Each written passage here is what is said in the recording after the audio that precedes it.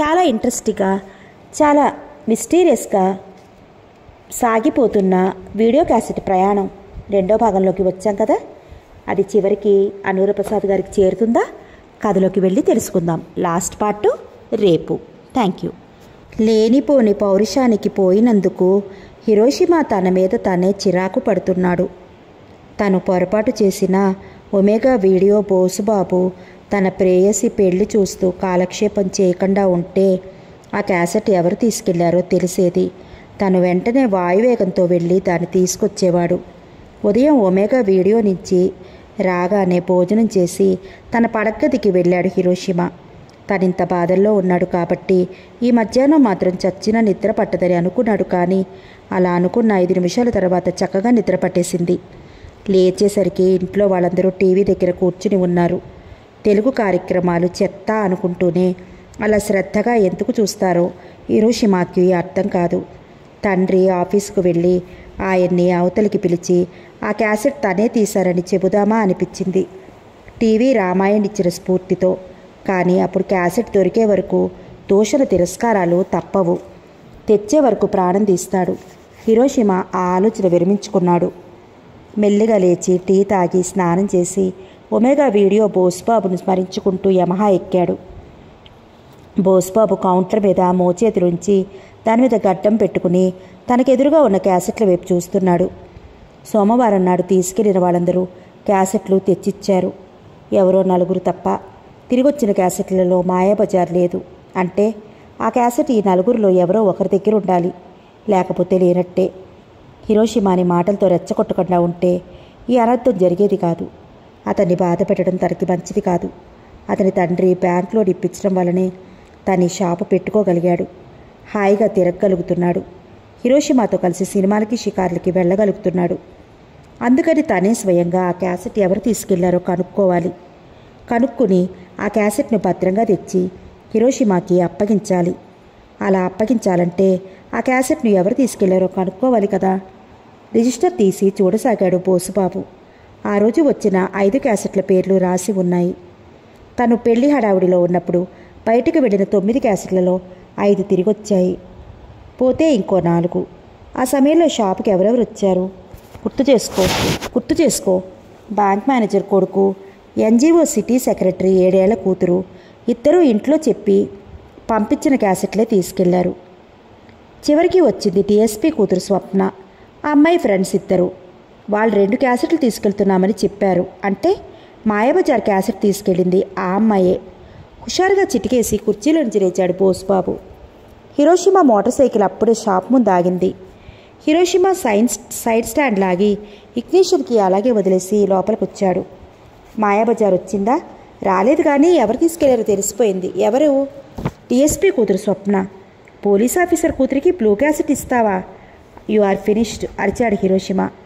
బోస్బాబు వెంటనే తన పాత ఫోజులోకి వెళ్ళిపోయాడు. కౌంటర్ మీద మోచేతులుంచి దాని మీద గడ్డం పెట్టుకుని అలా భీకరంగా అరిచిన హిరోషిమా వైపు భయం భయంగా చూశాడు. ఈ మధ్యన అసలు ఏమీ పనిచేయడం లేదు. Just coming to the office sitting in your chair smoking your cigarettes go on talking with others typing a single column item and going home peacefully. మొన్న కేంద్ర మంత్రితో ఇంటర్వ్యూ దరిద్రంగా ఉంది. Double stink quite stinking. నువ్వు ఇక్కడ ఎక్కువ కాలం ఉండవు. You won't be here a long time నువ్వు రాజీనామా చేయాల్సిన పరిస్థితి రావచ్చు. A typical situation may arise in which you have to resign and go bureau చీఫ్తో తగాదా ఎందుకు? సెంచరీ నర్సింగ్ హోమ్ మీద స్టోరీ రాయమంటే రాయనన్నావు. మా అమ్మాయికి సరైన ట్రీట్మెంట్ ఇవ్వలేదు వాళ్ళు. అందుకని రాయమనలేదు నేను. I'm about all these silly I'm above all these silly things కానీ రాయాలి.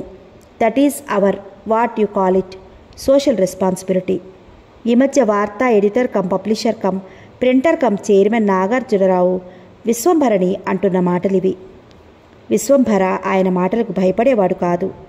ఆయన కేవలం ఎడిటరే ఉంటే పబ్లిషర్ ప్రింటర్ కూడా ఆయనే కావటం వల్ల భయపడ్డాడు. ఉద్యోగం పోతుందని కాదు. ఈ రకం ప్రచారం వల్ల ఇంకో పేపర్లో కూడా ఉద్యోగం రాదేమోనని. వేరే ఉద్యోగం వెతుక్కోవడం కంటే ఉన్నదేదో ప్రశాంతంగా చేసుకుంటూ సుఖంగా బతకడం మంచిది కదా. ఆ ఉద్దేశంతోనే సాత్యకి క్యాసెట్ స్టోరీ చెప్పగానే ఎంతో ఆనందించాడు. తనకు కూడా కలిసి వస్తుందని గర్వించాడు. చైర్మన్ గది ముందు నిలబడి ఇలా క్యాబిన్లు కాకుండా అమెరికాలో లాగా ఓపెన్ వర్క్ రూమ్స్ ఉండటం మంచిదని అనుకుంటూ అద్దం ముక్కలో నుంచి లోపలికి చూశాడు. అలా చూడటం చైర్మన్ అటెండర్కి నచ్చలేదు. లోపల ఎవరితోనో మాట్లాడుతున్నారు సార్ అన్నాడు అతను. ఎవరితో? నాకేం తెలుసు.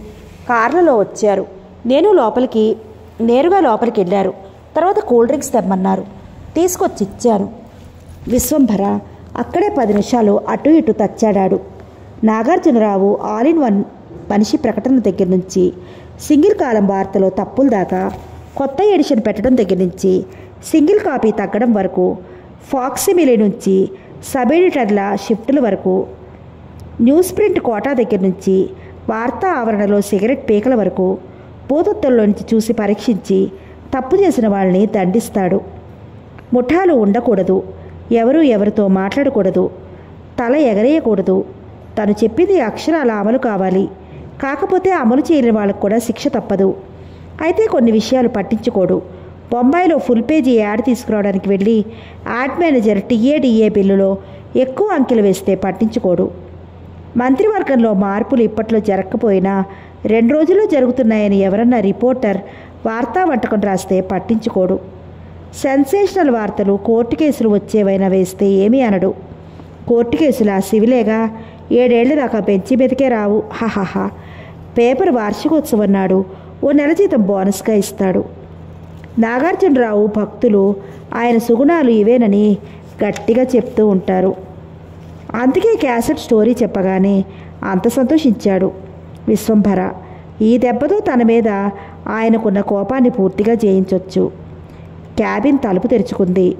లోపల నుంచి ఖద్దరు చొక్క రెడ్ సిల్ రెడ్ విల్స్ గుమ్మడికాయ ఎర్రకళ్ళు బయటికి వెళ్ళాయి. విశ్వంభర ఒక్క క్షణం కూడా ఆలస్యం చేయకుండా లోపలికి వెళ్ళాడు. Sorry to disturb you sir Nagarjuna Rao తలూపి కుర్చీ చూపించాడు. చెప్పండి మామూలు మాటలు ఉభయ కుశలోపరి వ్యవహారాలు ఆయనకి నచ్చవు. Business is business always business మనకు మంచి సెన్సేషనల్ పార్టీ దొరికింది సార్ గుడ్ నా మిత్రుడు సాత్యకి ఓ వీడియో క్యాసెట్ దొరికింది. అందులో జయ విజయరావు రహస్య జీవితం ఉంది. నువ్వు ఆ క్యాసెట్ చూసావా? చూడలేదు సార్ చూడకుండా నాతో చెప్పడానికి ఎందుకు వచ్చావు అన్నాడు ఆయన వాచి చూసుకుంటూ. సారీ సార్ ఆ క్యాసెట్ నా దగ్గరే ఉంది. ఇవాళ చూసి రేపు మీకు స్టోరీ ఇస్తాను.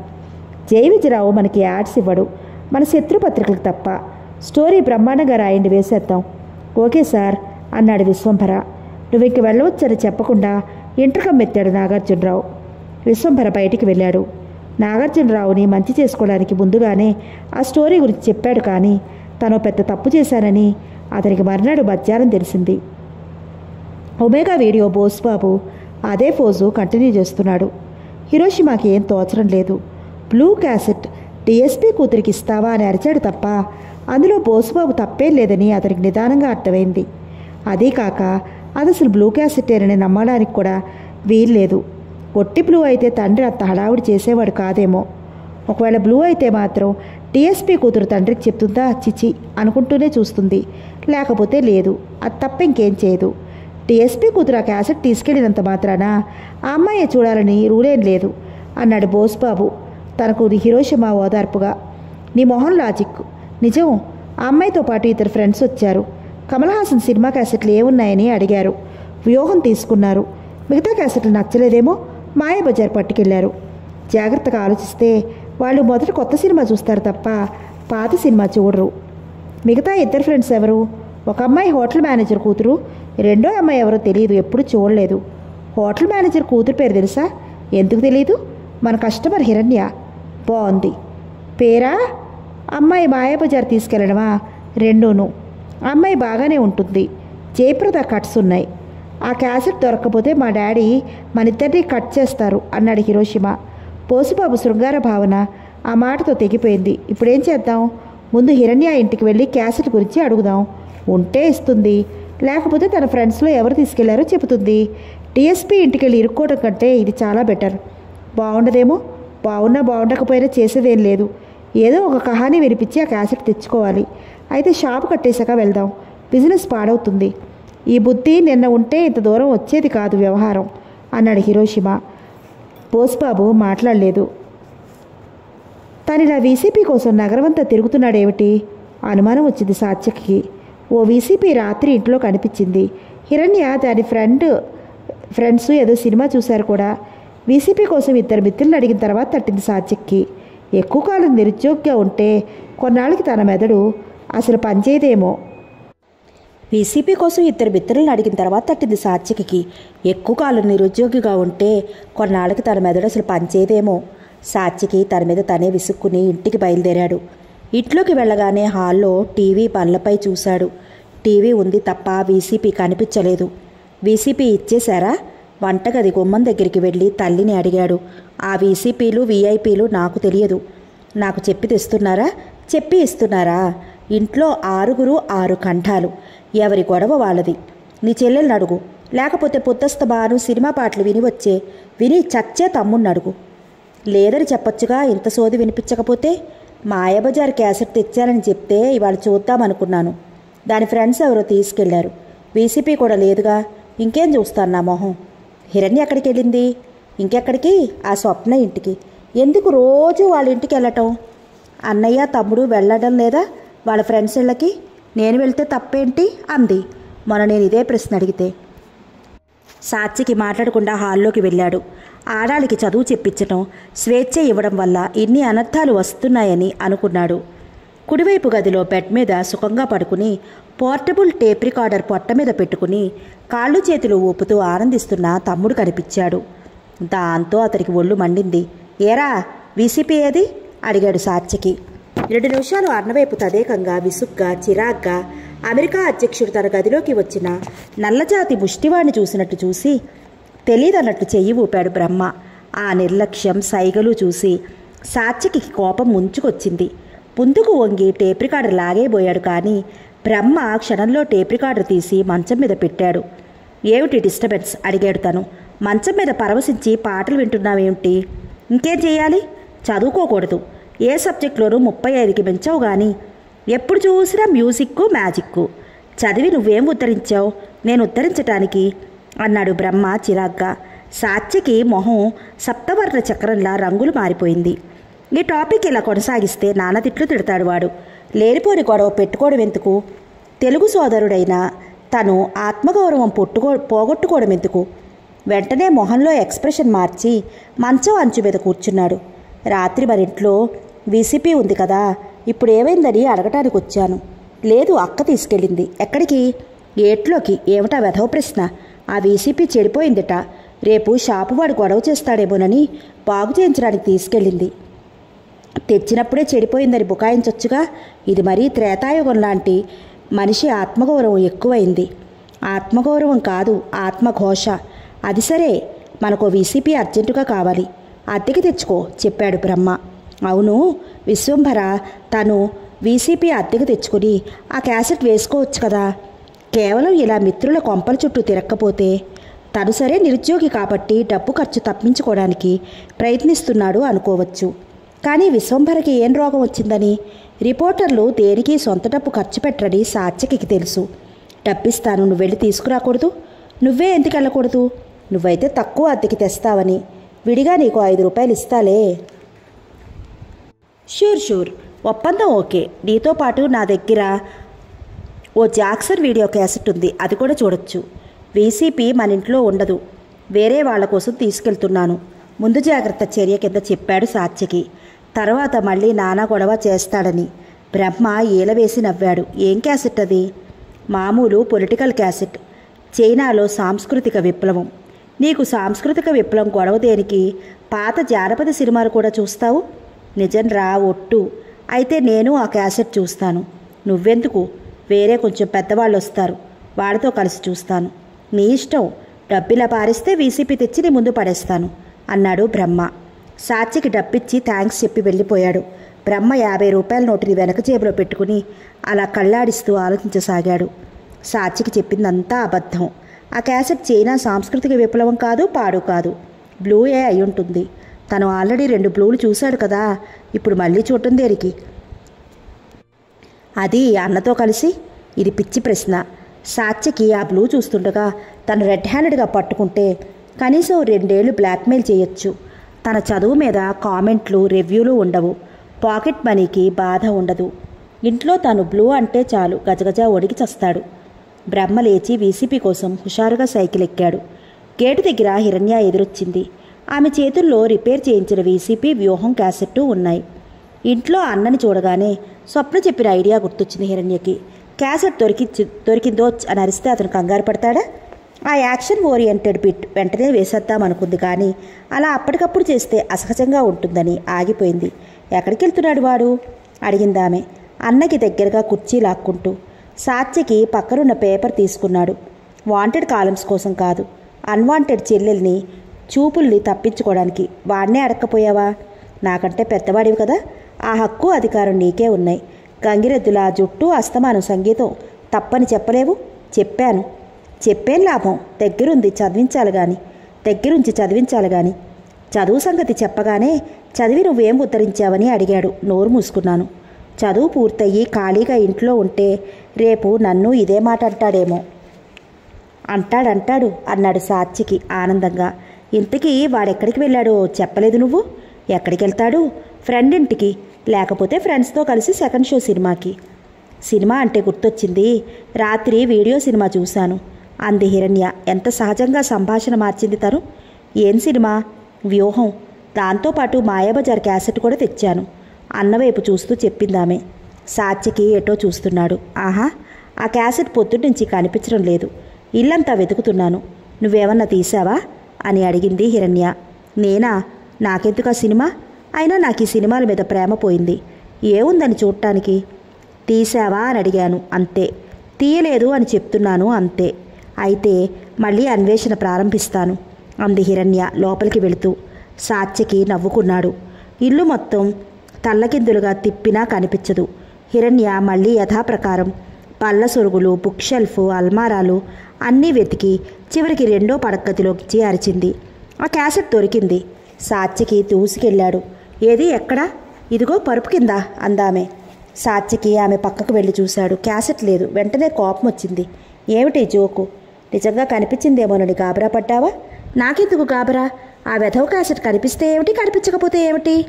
అయినా నువ్వు నన్ను దొంగల నీతి నియమం లేనివాడిలా చూడటం ఏం బాలేదు కిరహీరణ్య. Don't worry just a joke అందామే. సరిగ్గా అప్పుడే బయట మోటార్ సైకిల్ ఆగిన చప్పుడు వినిపించింది. సాక్షికి కిటికీలో నుంచి చూశాడు. ఎవరో వచ్చారే? అన్నాడు తను. ఇంగ్లీష్ హర్రర్ సినిమాలో లాగా హిరణ్య బయటికి వెళ్ళింది. అన్న ఎలాగూ రావడం తెలిసి గేటు ముందు మోటార్ సైకిల్ పక్కనే ఇద్దరు కిర్రాళ్ళ కుర్రాళ్ళని చూసి గాబరా పడింది హిరణ్య. ఎందుకొచ్చారు? ఎందుకొచ్చారు? ఎందుకొచ్చారు? నిన్న మీరు మా షాపులో రెండు క్యాసెట్లు వీసీపీ తెచ్చారు అన్నాడు బోసుబాబు ఇంటి ముందు దీపం వెలుతురులోకి చూస్తూ. వెలుతురులోకి వస్తూ అవును అంది హిరణ్య పక్కనున్న హిరోషిమా వైపు చూస్తూ. అతడు కొంచెం లావు. దానికి కప్పెట్టు కోడానికి వదులు దుస్తులు వేసుకుంటాడు. గుండ్రటి మొహం. ఎక్కడా చూసినట్లు జ్ఞాపకం లేదు. మీరింకా అవి రిటర్న్ చేయలేదు? ఇదివరకు మేము ఆలస్యంగా ఇచ్చినా అడిగేవాళ్ళు కాదు. ఇవాళ మీరే వచ్చారేంటి? కొంచెం అర్జెంటు. నా ఫ్రెండ్ ఒక్కడు మణిపాల్ నుంచి వచ్చాడు. సంవత్సరం తర్వాత పాత తెలుగు సినిమాల కోసం పరితపిస్తున్నాడు.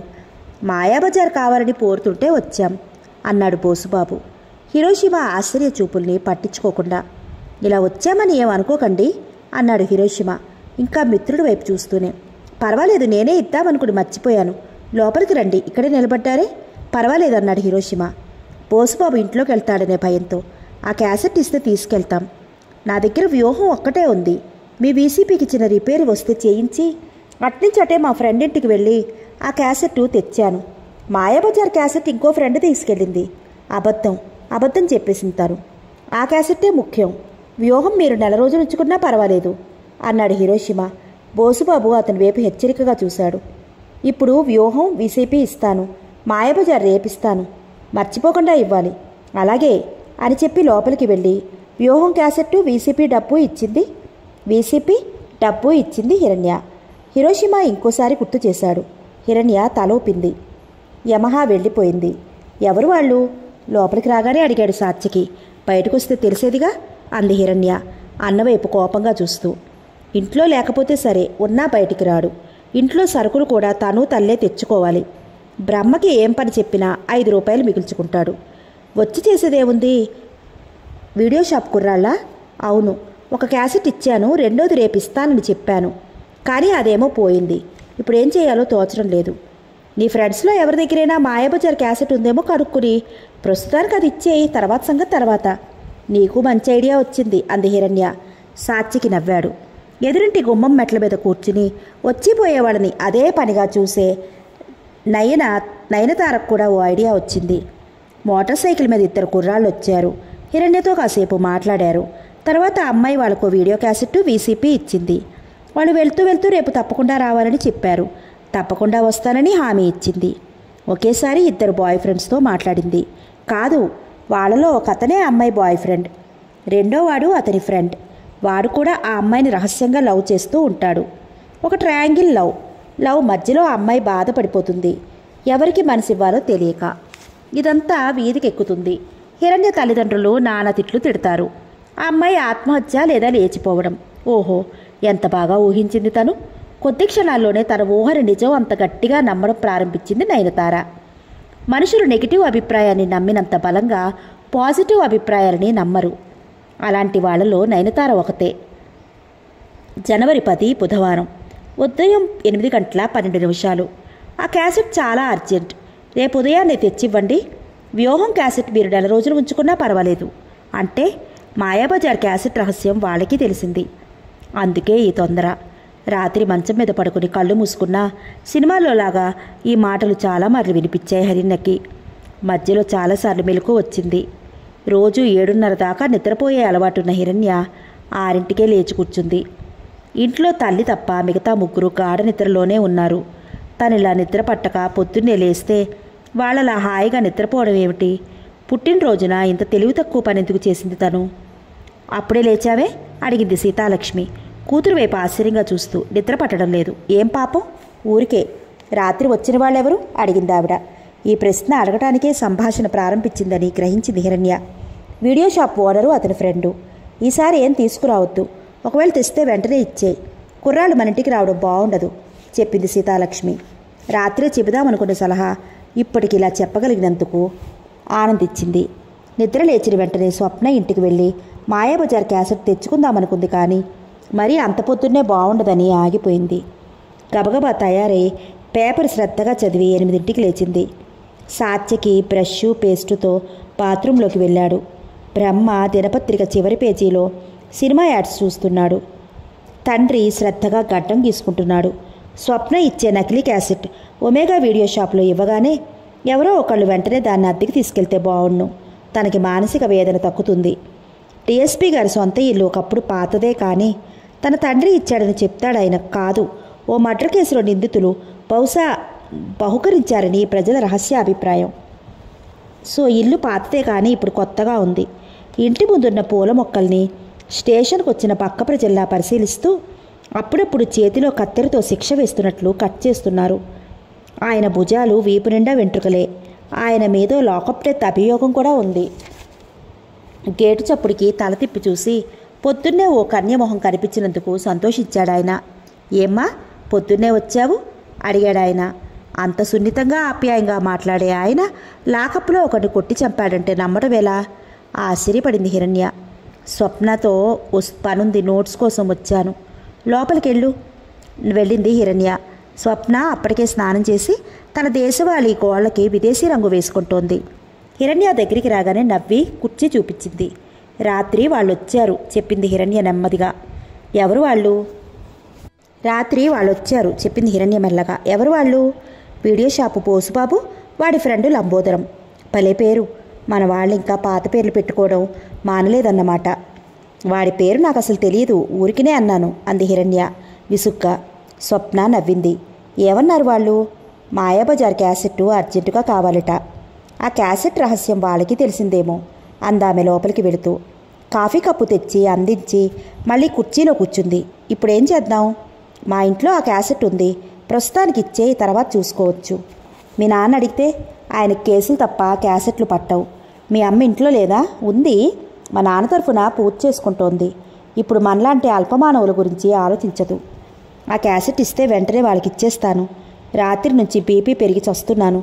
మరి రేపులు హత్యలు చేసేవాళ్ళు ఎలా చేస్తారో ఏమిటో? వాళ్ళల్లో మానవ రక్తం ఉండదు అంది స్వప్న నవ్వుతూ. లోపలికి వెళ్ళి ఐదు నిమిషాలు వెతికి మాయాబజార్ క్యాసెట్ తెచ్చి ఇచ్చింది హిరణ్య ఆ క్యాసెట్ని అటు ఇటు తిప్పి చూసింది. తను వీడియో షాప్లో తీసుకొచ్చిన క్యాసెట్ కొత్తది. ఇది కొత్తదే. బోసుబాబు చచ్చినా కనిపెట్టలేడు.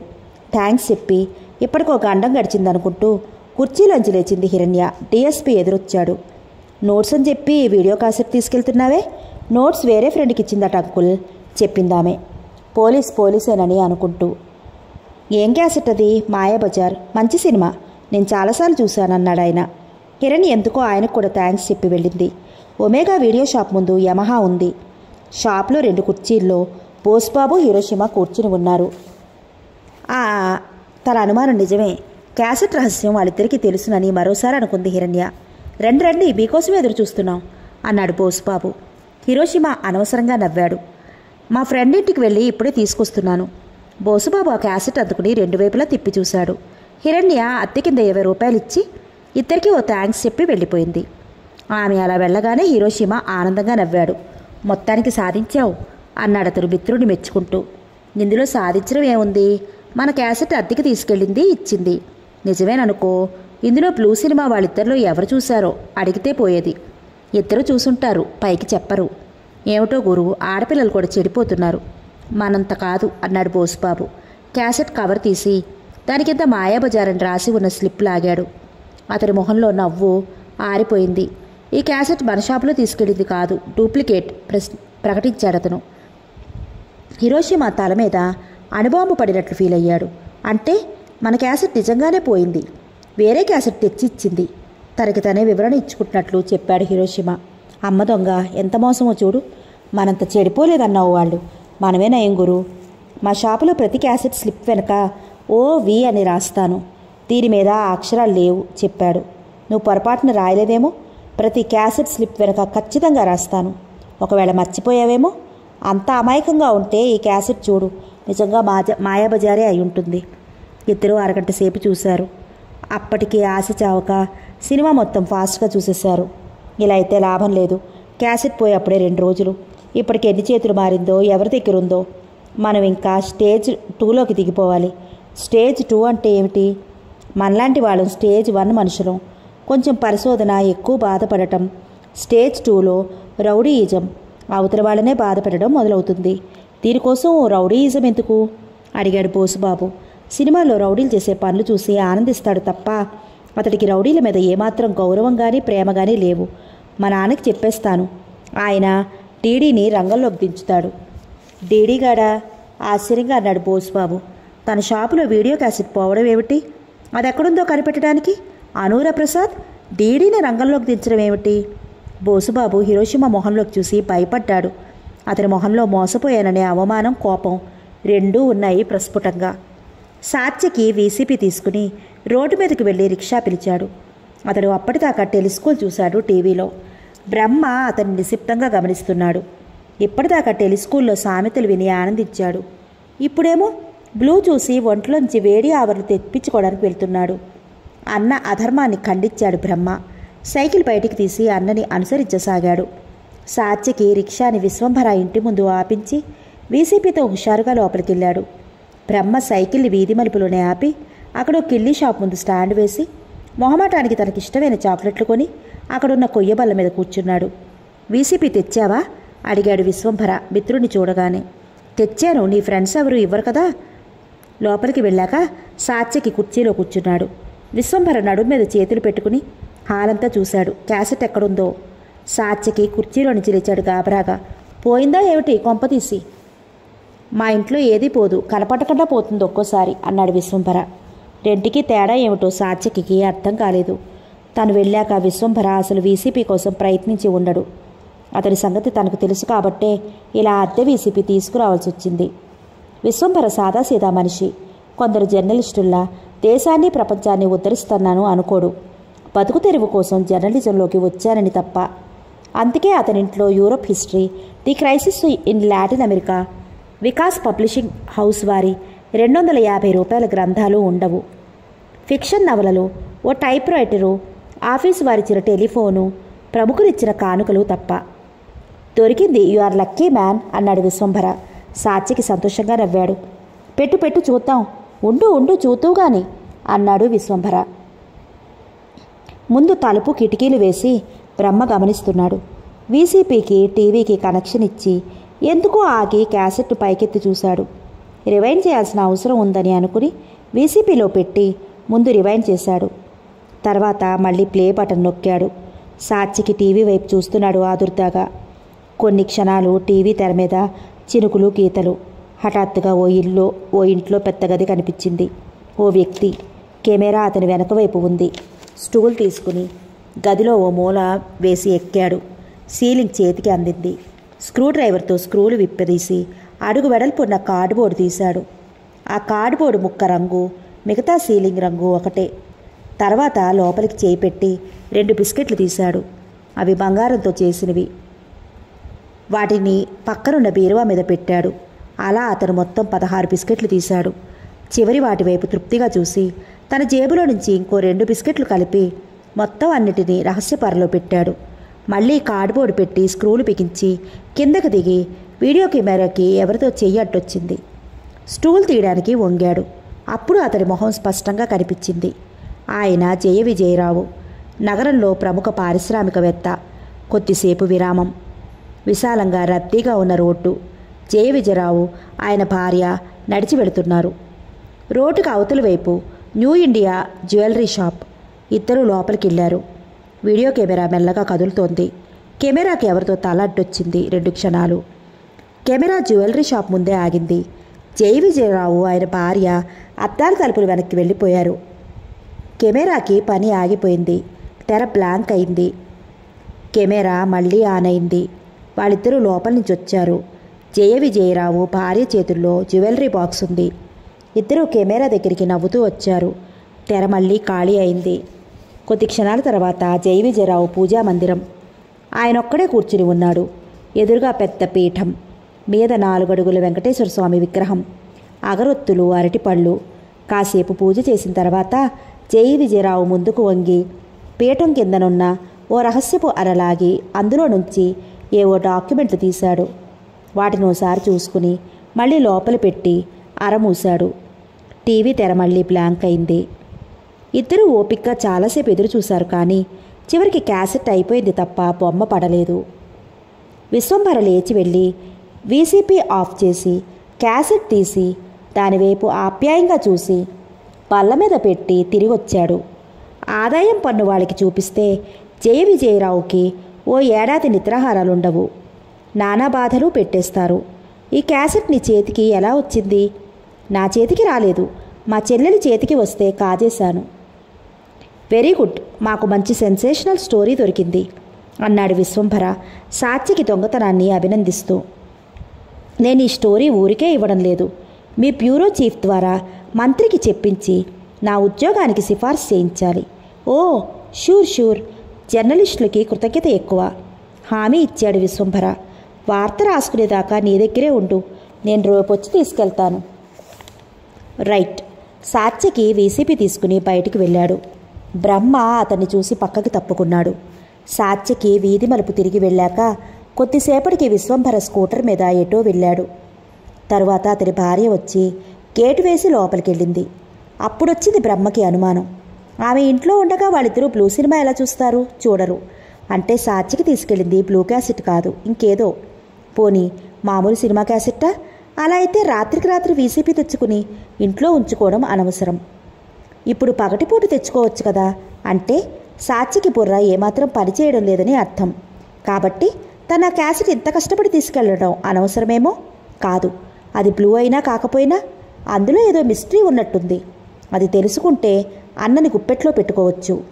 బ్రహ్మ విశ్వంభర ఇంటివైపు నడకసాగాడు. నడవసాగాడు. తనెంతో పకడ్బందీగా గొప్ప ప్లాన్ ప్రకారం తీయించిన క్యాసెట్ పోయి అప్పుడే మూడు రోజులైంది. ఎవరు తీశారో అర్థం కాలేదు. ఎందుకు తీశారో అసలు అర్థం కాలేదు. ఆఫీస్ గదిలో కూర్చుని ఫైల్ చూస్తున్నా. ఆ క్యాసెట్ గురించే ఆలోచిస్తున్నాడు అనూర ప్రసాద్. మామూలుగా అన్ని ఆఫీసు గదుల్లా కాకుండా ఆయన ఆఫీస్ గది కళాత్మకంగా ఉంది. పెద్ద ఆయిల్ పెయింటింగ్స్ మంచి ఫర్నిచర్ అటాచ్డ్ టాయిలెట్ రెండు ఎయిర్ కండిషనర్లు. ఎక్కడన్నా మధ్యాహ్నం వేళ విశ్రాంతి తీసుకోవాలనిపిస్తే అందుకోసం ఓ చిన్న ఏసీ బెడ్రూమ్. అటెండర్ తలుపు నెట్టాడు. పెద్దబాబు గారు వచ్చారు సార్. పంపించు. హిరోషిమా లోపలికి వచ్చాడు ఇంట్లో ఆయనతో చనువుగా మాట్లాడతాడు కానీ ఆఫీసులో ఇద్దరి మధ్య ఏదో దూరం ఉన్నట్లు ఫీల్ అవుతాడు. బహుశా తనప్పుడు తండ్రిని కాక పారిశ్రామికవేత్త అనూర ప్రసాద్ని చూస్తున్నట్లు ఫీల్ అవుతారని అతని అభిప్రాయం. నేను తప్పు చేశాను డాడీ అన్నాడు హిరోషిమ తల వంచుకుని అనూర ప్రసాద్ సినీ డాడీలా నవ్వాడు.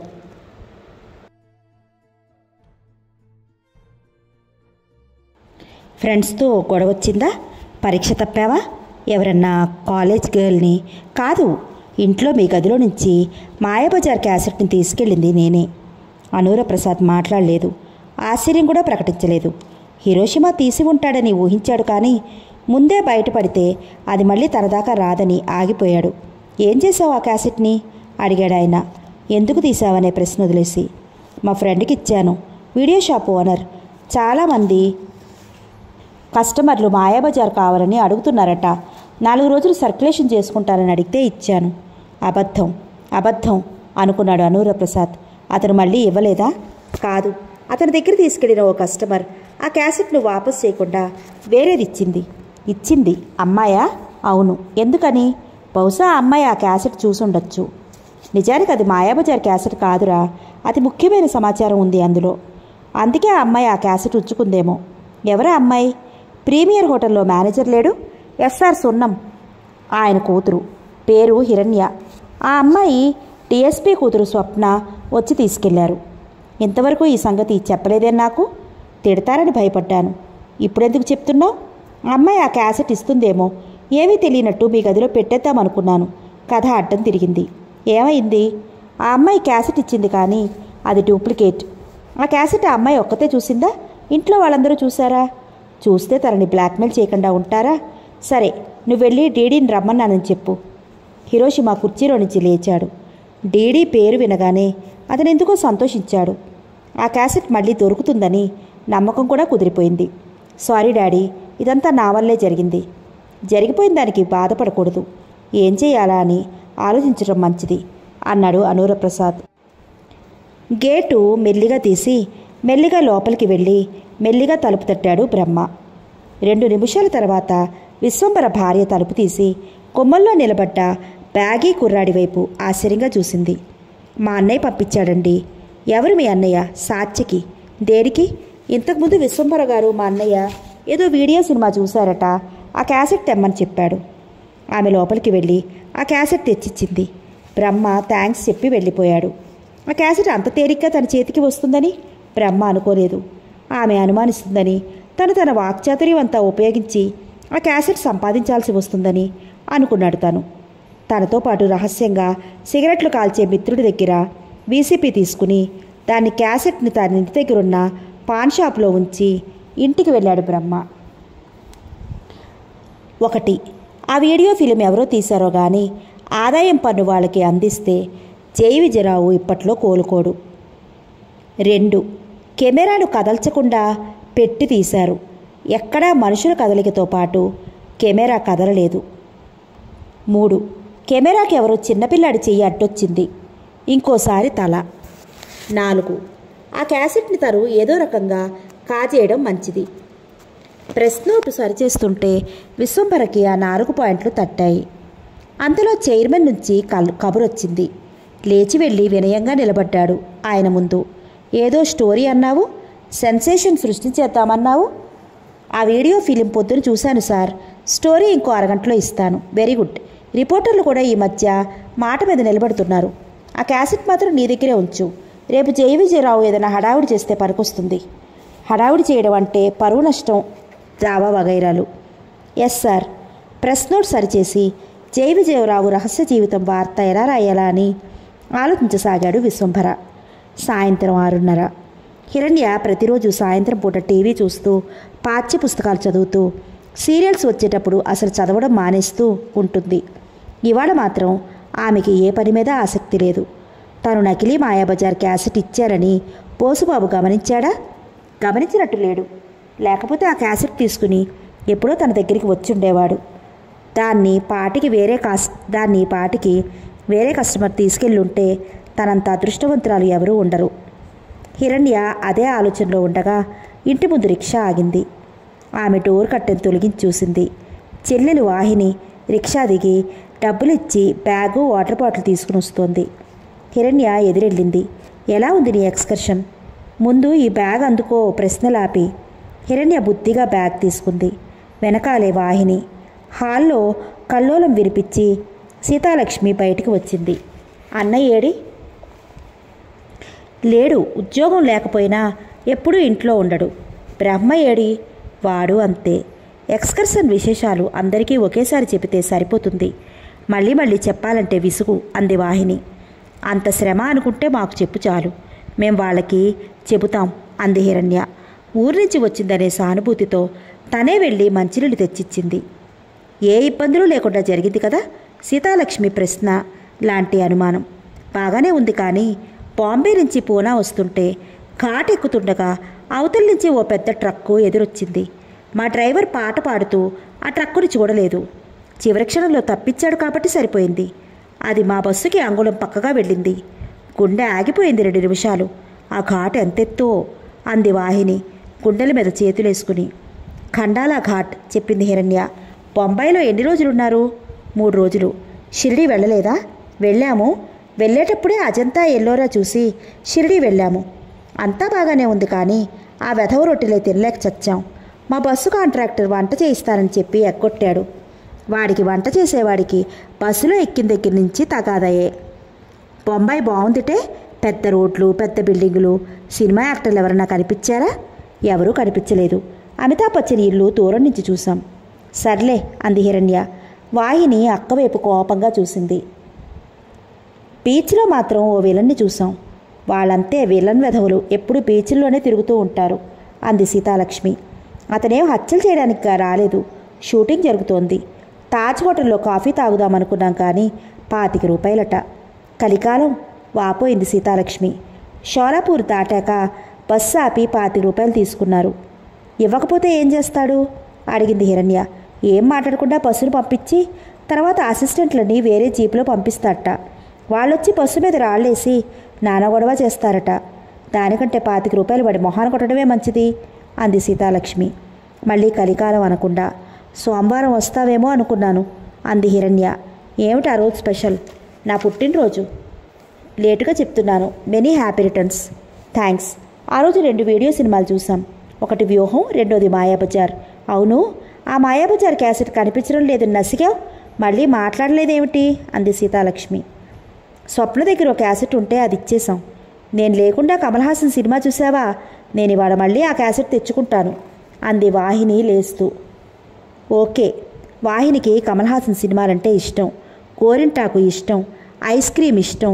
అలా బజార్లో షికారుగా తిరగటం సాత్యకి తీసుకెళ్ళడు బ్రహ్మ తీసుకెళ్ళనని చెప్తాడు. బజార్లో షికారు తిరగడం ఇష్టం సినిమా యాక్టర్ల బొమ్మలున్న నోట్ పుస్తకాలు ఇష్టం స్కూల్లో మధ్యాహ్నం పూట రోజు అన్నం తినకుండా స్నాక్స్ తినడం ఇష్టం. విదేశీ నెయిల్ పాలిష్ అంటే చాలా ఇష్టం. ఎదురింటి నయనతార దగ్గర విదేశీ నెయిల్ పాలిష్ ఉంది. ఆ రోజు ఆ వెధవ తలనొప్పి సినిమా చూడకుండా ఉండాల్సింది. ఆ రోజు హైదరాబాద్ బస్సులో కాకుండా రైల్లో వెళ్ళుంటే బాగుండేది మొన్న ఫస్ట్న రెండు వందలు చేబుదులు ఇవ్వకుండా ఉంటే బాగుండేది మిత్రుడి స్కూటర్ తీసుకుని యాక్సిడెంట్ చేయకుండా ఉంటే బాగుండేది చాలామంది ఓ పని చేశాక కానీ అది అనవసరంగా చేశామని గ్రహించరు. సాత్యకి అలాంటివాడే. జయ విజయరావు రహస్య జీవితం చిత్రీకరించిన క్యాసెట్ని బుద్ధి లేకుండా విశ్వంభరకి ఇవ్వడం ఏమిటి? అతనింట్లో వీసీపీ లేకపోతే తను అద్దెకి తీసుకెళ్ళి అతనికి చూపించడం ఏమిటి? దాన్ని చూసి అతను స్టోరీ రాసుకోవడం ఏమిటి? ఈ కృతజ్ఞతా భారత్తో అతను తనకి ఎప్పుడో ఉద్యోగం ఇప్పించడం ఏమిటి? సాత్యకి ఎంత పిచ్చివాడివిరా. నువ్వు జాలిపడ్డాడు సాత్యకి ఆ క్యాసెట్ తీసుకెళ్ళి ఓ పాతిక వేలు అడిగితే ఆనందంగా ఇవ్వడా? సాత్యకి పశ్చాత్తాపంతో కాలిపోతూ విశ్వంభర ఇంటికి వెళ్ళాడు ఆ క్యాసెట్ తెచ్చుకోవడానికి. విశ్వంభర ఇంటికి తాళం వేసి ఉంది. డీడీకి ఓ పాత జావా మోటార్ సైకిల్ ఉంది. ఓ పాత ప్రియురాలుంది. తనది పూర్తిగా క్రిమినల్ బ్రెయిన్ అని నమ్మకం. కొన్నేళ్ళ క్రితం ఓ నకిలీ డీడీ మార్చడానికి బ్యాంకుకెళ్ళి వెళ్ళి పట్టుబడి జైలు శిక్ష అనుభవించాడు. అప్పటినుంచి అతన్ని అందరూ డీడీ అని పిలవటం ప్రారంభించారు. అతన్ని పోలీసులు అరెస్ట్ చేసిన రోజు ఓ మండలాధ్యక్షుడు పోలీస్ జులుంకి నిరసనగా అతని అక్రమ అరెస్టును ఖండిస్తూ పత్రికా ప్రకటన కూడా ఇచ్చాడు. డీడీ మొహాన కుడి చేతి మీద కత్తిగాట్లు గుర్తులున్నాయి. అతని జుట్టు తుఫాను గాలికి కూడా వంగదు. కళ్ళు పెద్దవి ఎప్పుడూ ఎర్రగా ఉంటాయి. ఆడవాళ్ళు అతని వైపు ఒక్కసారి చూస్తే మళ్ళీ చూడరు. జావా బయటికి తీసి స్టార్ట్ చేశాడు. డీడీ అది అతనికి తప్ప ఎవరికి స్టార్ట్ కాదుట. అనూర ప్రసాద్ ఏ పని చెప్పినా డబ్బు బాగానే ఇస్తాడు. ప్రతిసారిలాగే ఈసారి కూడా నాన్ వైలెంట్ పని చెప్పినందుకు ఆనందించాడు డీడీ. నిజానికి డీడీ ఏమంత ధైర్యం ఉన్నవాడు కాదు. గొడవ చేయాల్సిన అవసరం వస్తే ముందు పెద్దగా అరుస్తాడు జనాన్ని బెదిరించడానికి సూపర్ తిండి తినే అతని మొదటి అరుపుకే పారిపోతారు. అప్పటికి పారిపోకపోతే చాకు తీసి హుంకరిస్తాడు. దాంతో శత్రువు భయపడతాడు. అప్పటికీ భయపడకపోతే సోడాలు తీస్తాడు. కానీ వెంటనే విసరడు. చివరికి రెండు విసిరి. శత్రువు లొంగిపోతే సరి. లేకపోతే పెడబొప్పులు పెట్టి నీ అంతు చూస్తానని ప్రకటించి వెంటనే మాయమైపోతాడు.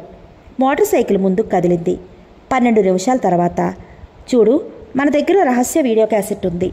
అది పొరపాటున ఓ పిల్ల దగ్గరికి చేరింది. నేను ఆ క్యాసెట్కి మాయాబజార్ కవర్ వేశాను. ఆ పిల్ల ఆ క్యాసెట్ తిరిగిచ్చింది కానీ డూప్లికేట్ ఇచ్చింది. ఒరిజినల్ ఆ అమ్మాయి దగ్గరే ఉంది.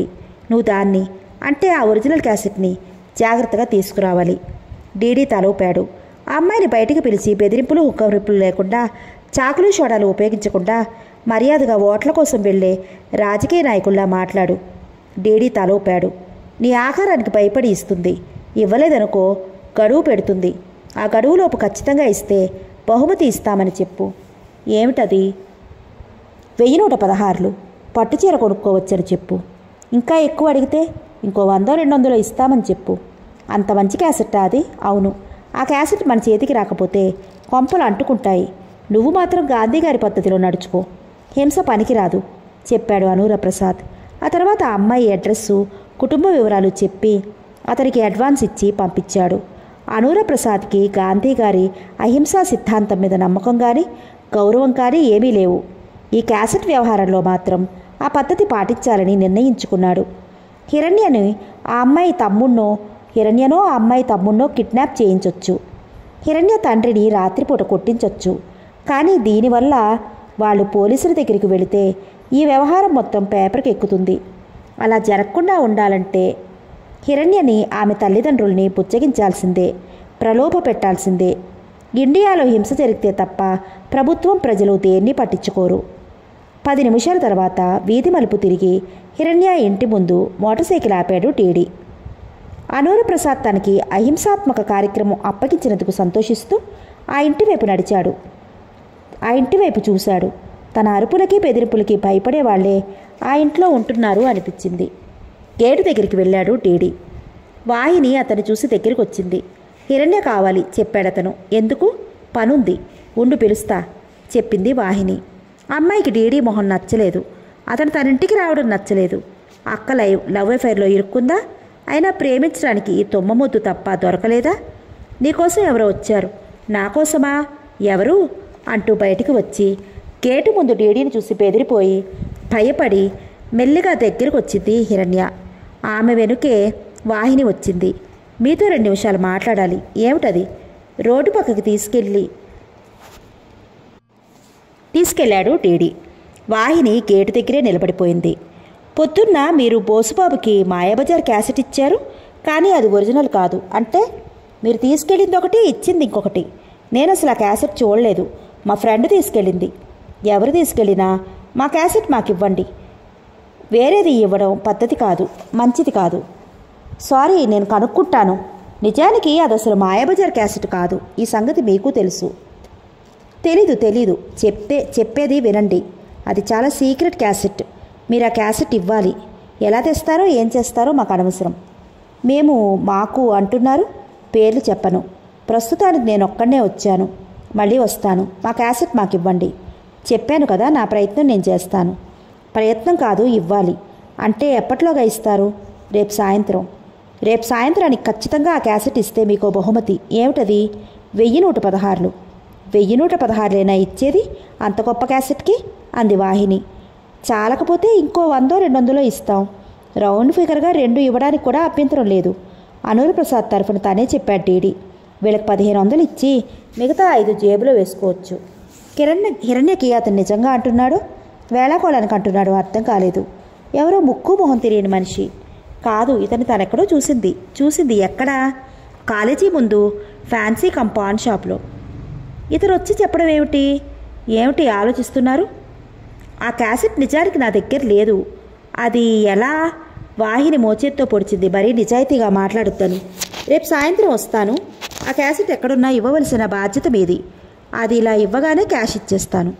వాళ్ళిద్దరినీ అలా ఆశ్చర్యసాగరంలో వదిలేసి జావా మీద వెళ్ళిపోయాడు అతన్ని అతని మోటార్ సైకిల్ని హిరణ్యని వాహినిని ఎదురింటి గుమ్మంలో నిలబడ్డ నయనతార గమనిస్తోంది. రెండు వేలొస్తే ఏం చేస్తావే అక్క? అడిగింది వాహిని. సాత్యకి ఎనిమిదింటికోసారి విశ్వంభర ఇంటికి వెళ్ళాడు. తాళం వేసుంది.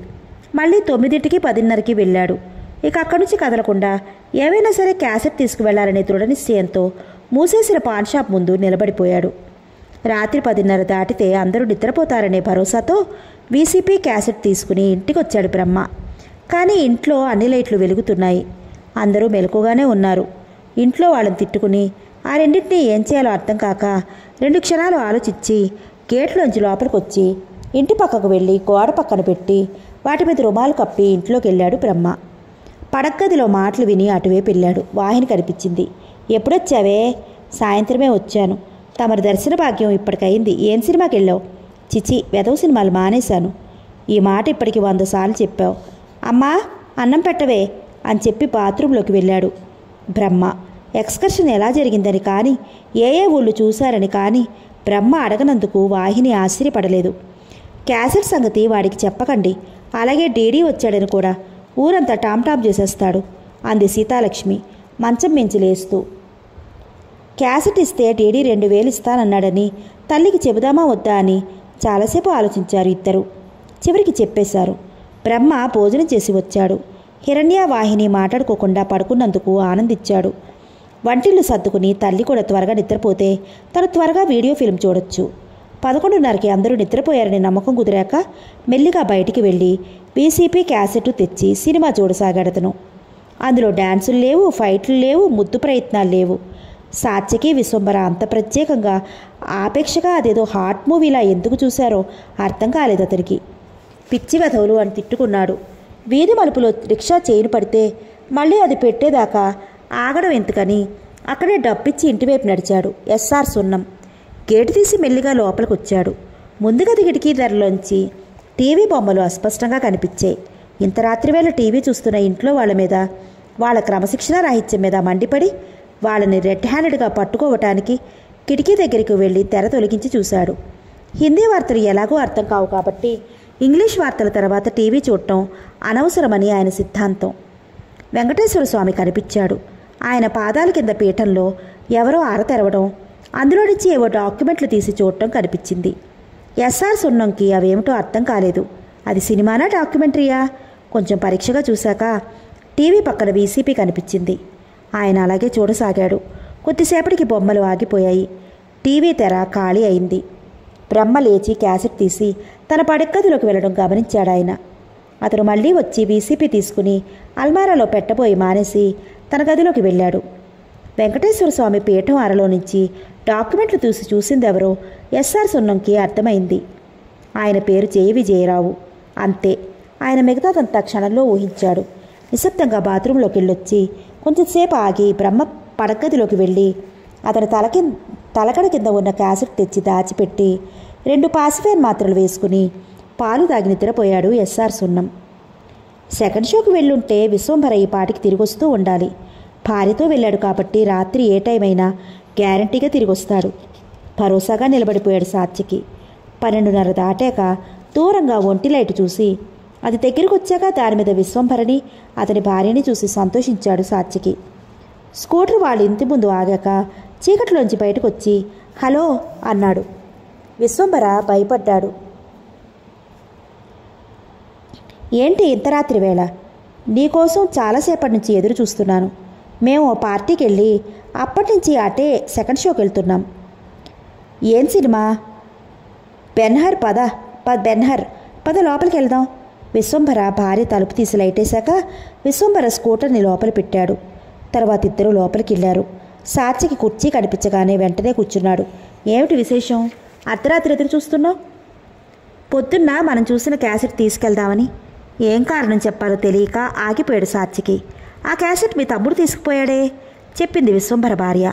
విశ్వంభర ఆశ్చర్యంతో ఆ అన్నాడు. సాత్యకి అది కూడా అనలేకపోయాడు. ఇంతవరకు చెప్పలేదే? అడిగాడు విశ్వంభర. అతని మాటల్లో కోపం ఉంది. మీరు అడగలేదు నేను చెప్పలేదు. ఆ క్యాసెట్ని మా అన్నయ్య తీసుకురమ్మన్నాడని చెప్పి తీసుకెళ్ళాడు. ఎప్పుడు? మీరు వీడియో సినిమా చూసి అలా వెళ్ళారు? అతను ఇలా వచ్చి పట్టుకెళ్ళాడు. చచ్చా నా ప్లాన్ అంతా దెబ్బతింది అరిచాడు విశ్వంభర. నాది కూడా అన్నాడు సాత్యకి బ్రహ్మ ఆ క్యాసెట్ ఎందుకు తీసుకెళ్ళాడు? వాడికి అసలు అనుమానం ఎందుకు వచ్చింది ఆ క్యాసెట్ చూసినా ఏం ఉపయోగం వాడికి? ఆలోచిస్తూనే ఇంటికి వెళ్ళాడు సాత్యకి బ్రహ్మ నిద్ర లేపి బయటికి తీసుకొచ్చి బెదిరించాడు. అతడు ఒప్పుకున్నాడు. తర్వాత ఆ క్యాసెట్ అన్నకిద్దామని పడగదిలోకి వెళ్ళి తిండు ఎత్తాడు. కానీ అది అక్కడ లేదు. ఇద్దరు పడగది మొత్తం గాలించారు. కానీ ఆ క్యాసెట్ కనిపించలేదు. సాత్యకి నిరాశ నిస్పృహలతో చాలాసేపు దీర్ఘాలోచనలో పడిపోయాడు. అన్నీ ఇంతే. అవకాశాలు తన దగ్గరికి వచ్చి మళ్ళీ వెంటనే మాయమైపోతూ ఉంటాయి. తన గదిలోకి వెళ్ళి అల్మారాలో రహస్యంగా దాచుకున్న హాట్ చాక్లెట్స్ బ్రౌన్ షుగర్ కలిపినవి నాలుగు గబగబా నమిలేసి నిద్రపోయాడు. జనవరి పదకొండు గురువారం. ఉదయం ఐదు గంటల ముప్పై రెండు నిమిషాలు. కేవలం సినిమా పాటలు మాత్రమే విని వార్తలు అనగానే రేడియో కట్టేసేవాళ్ళు సినిమాల్లో కష్టాలకు కన్నీళ్ళు కార్చేవాళ్ళు దేవుడి పటాలలో వచ్చే పిచ్చగాళ్ళకు మాత్రమే దానం చేసేవాళ్ళు.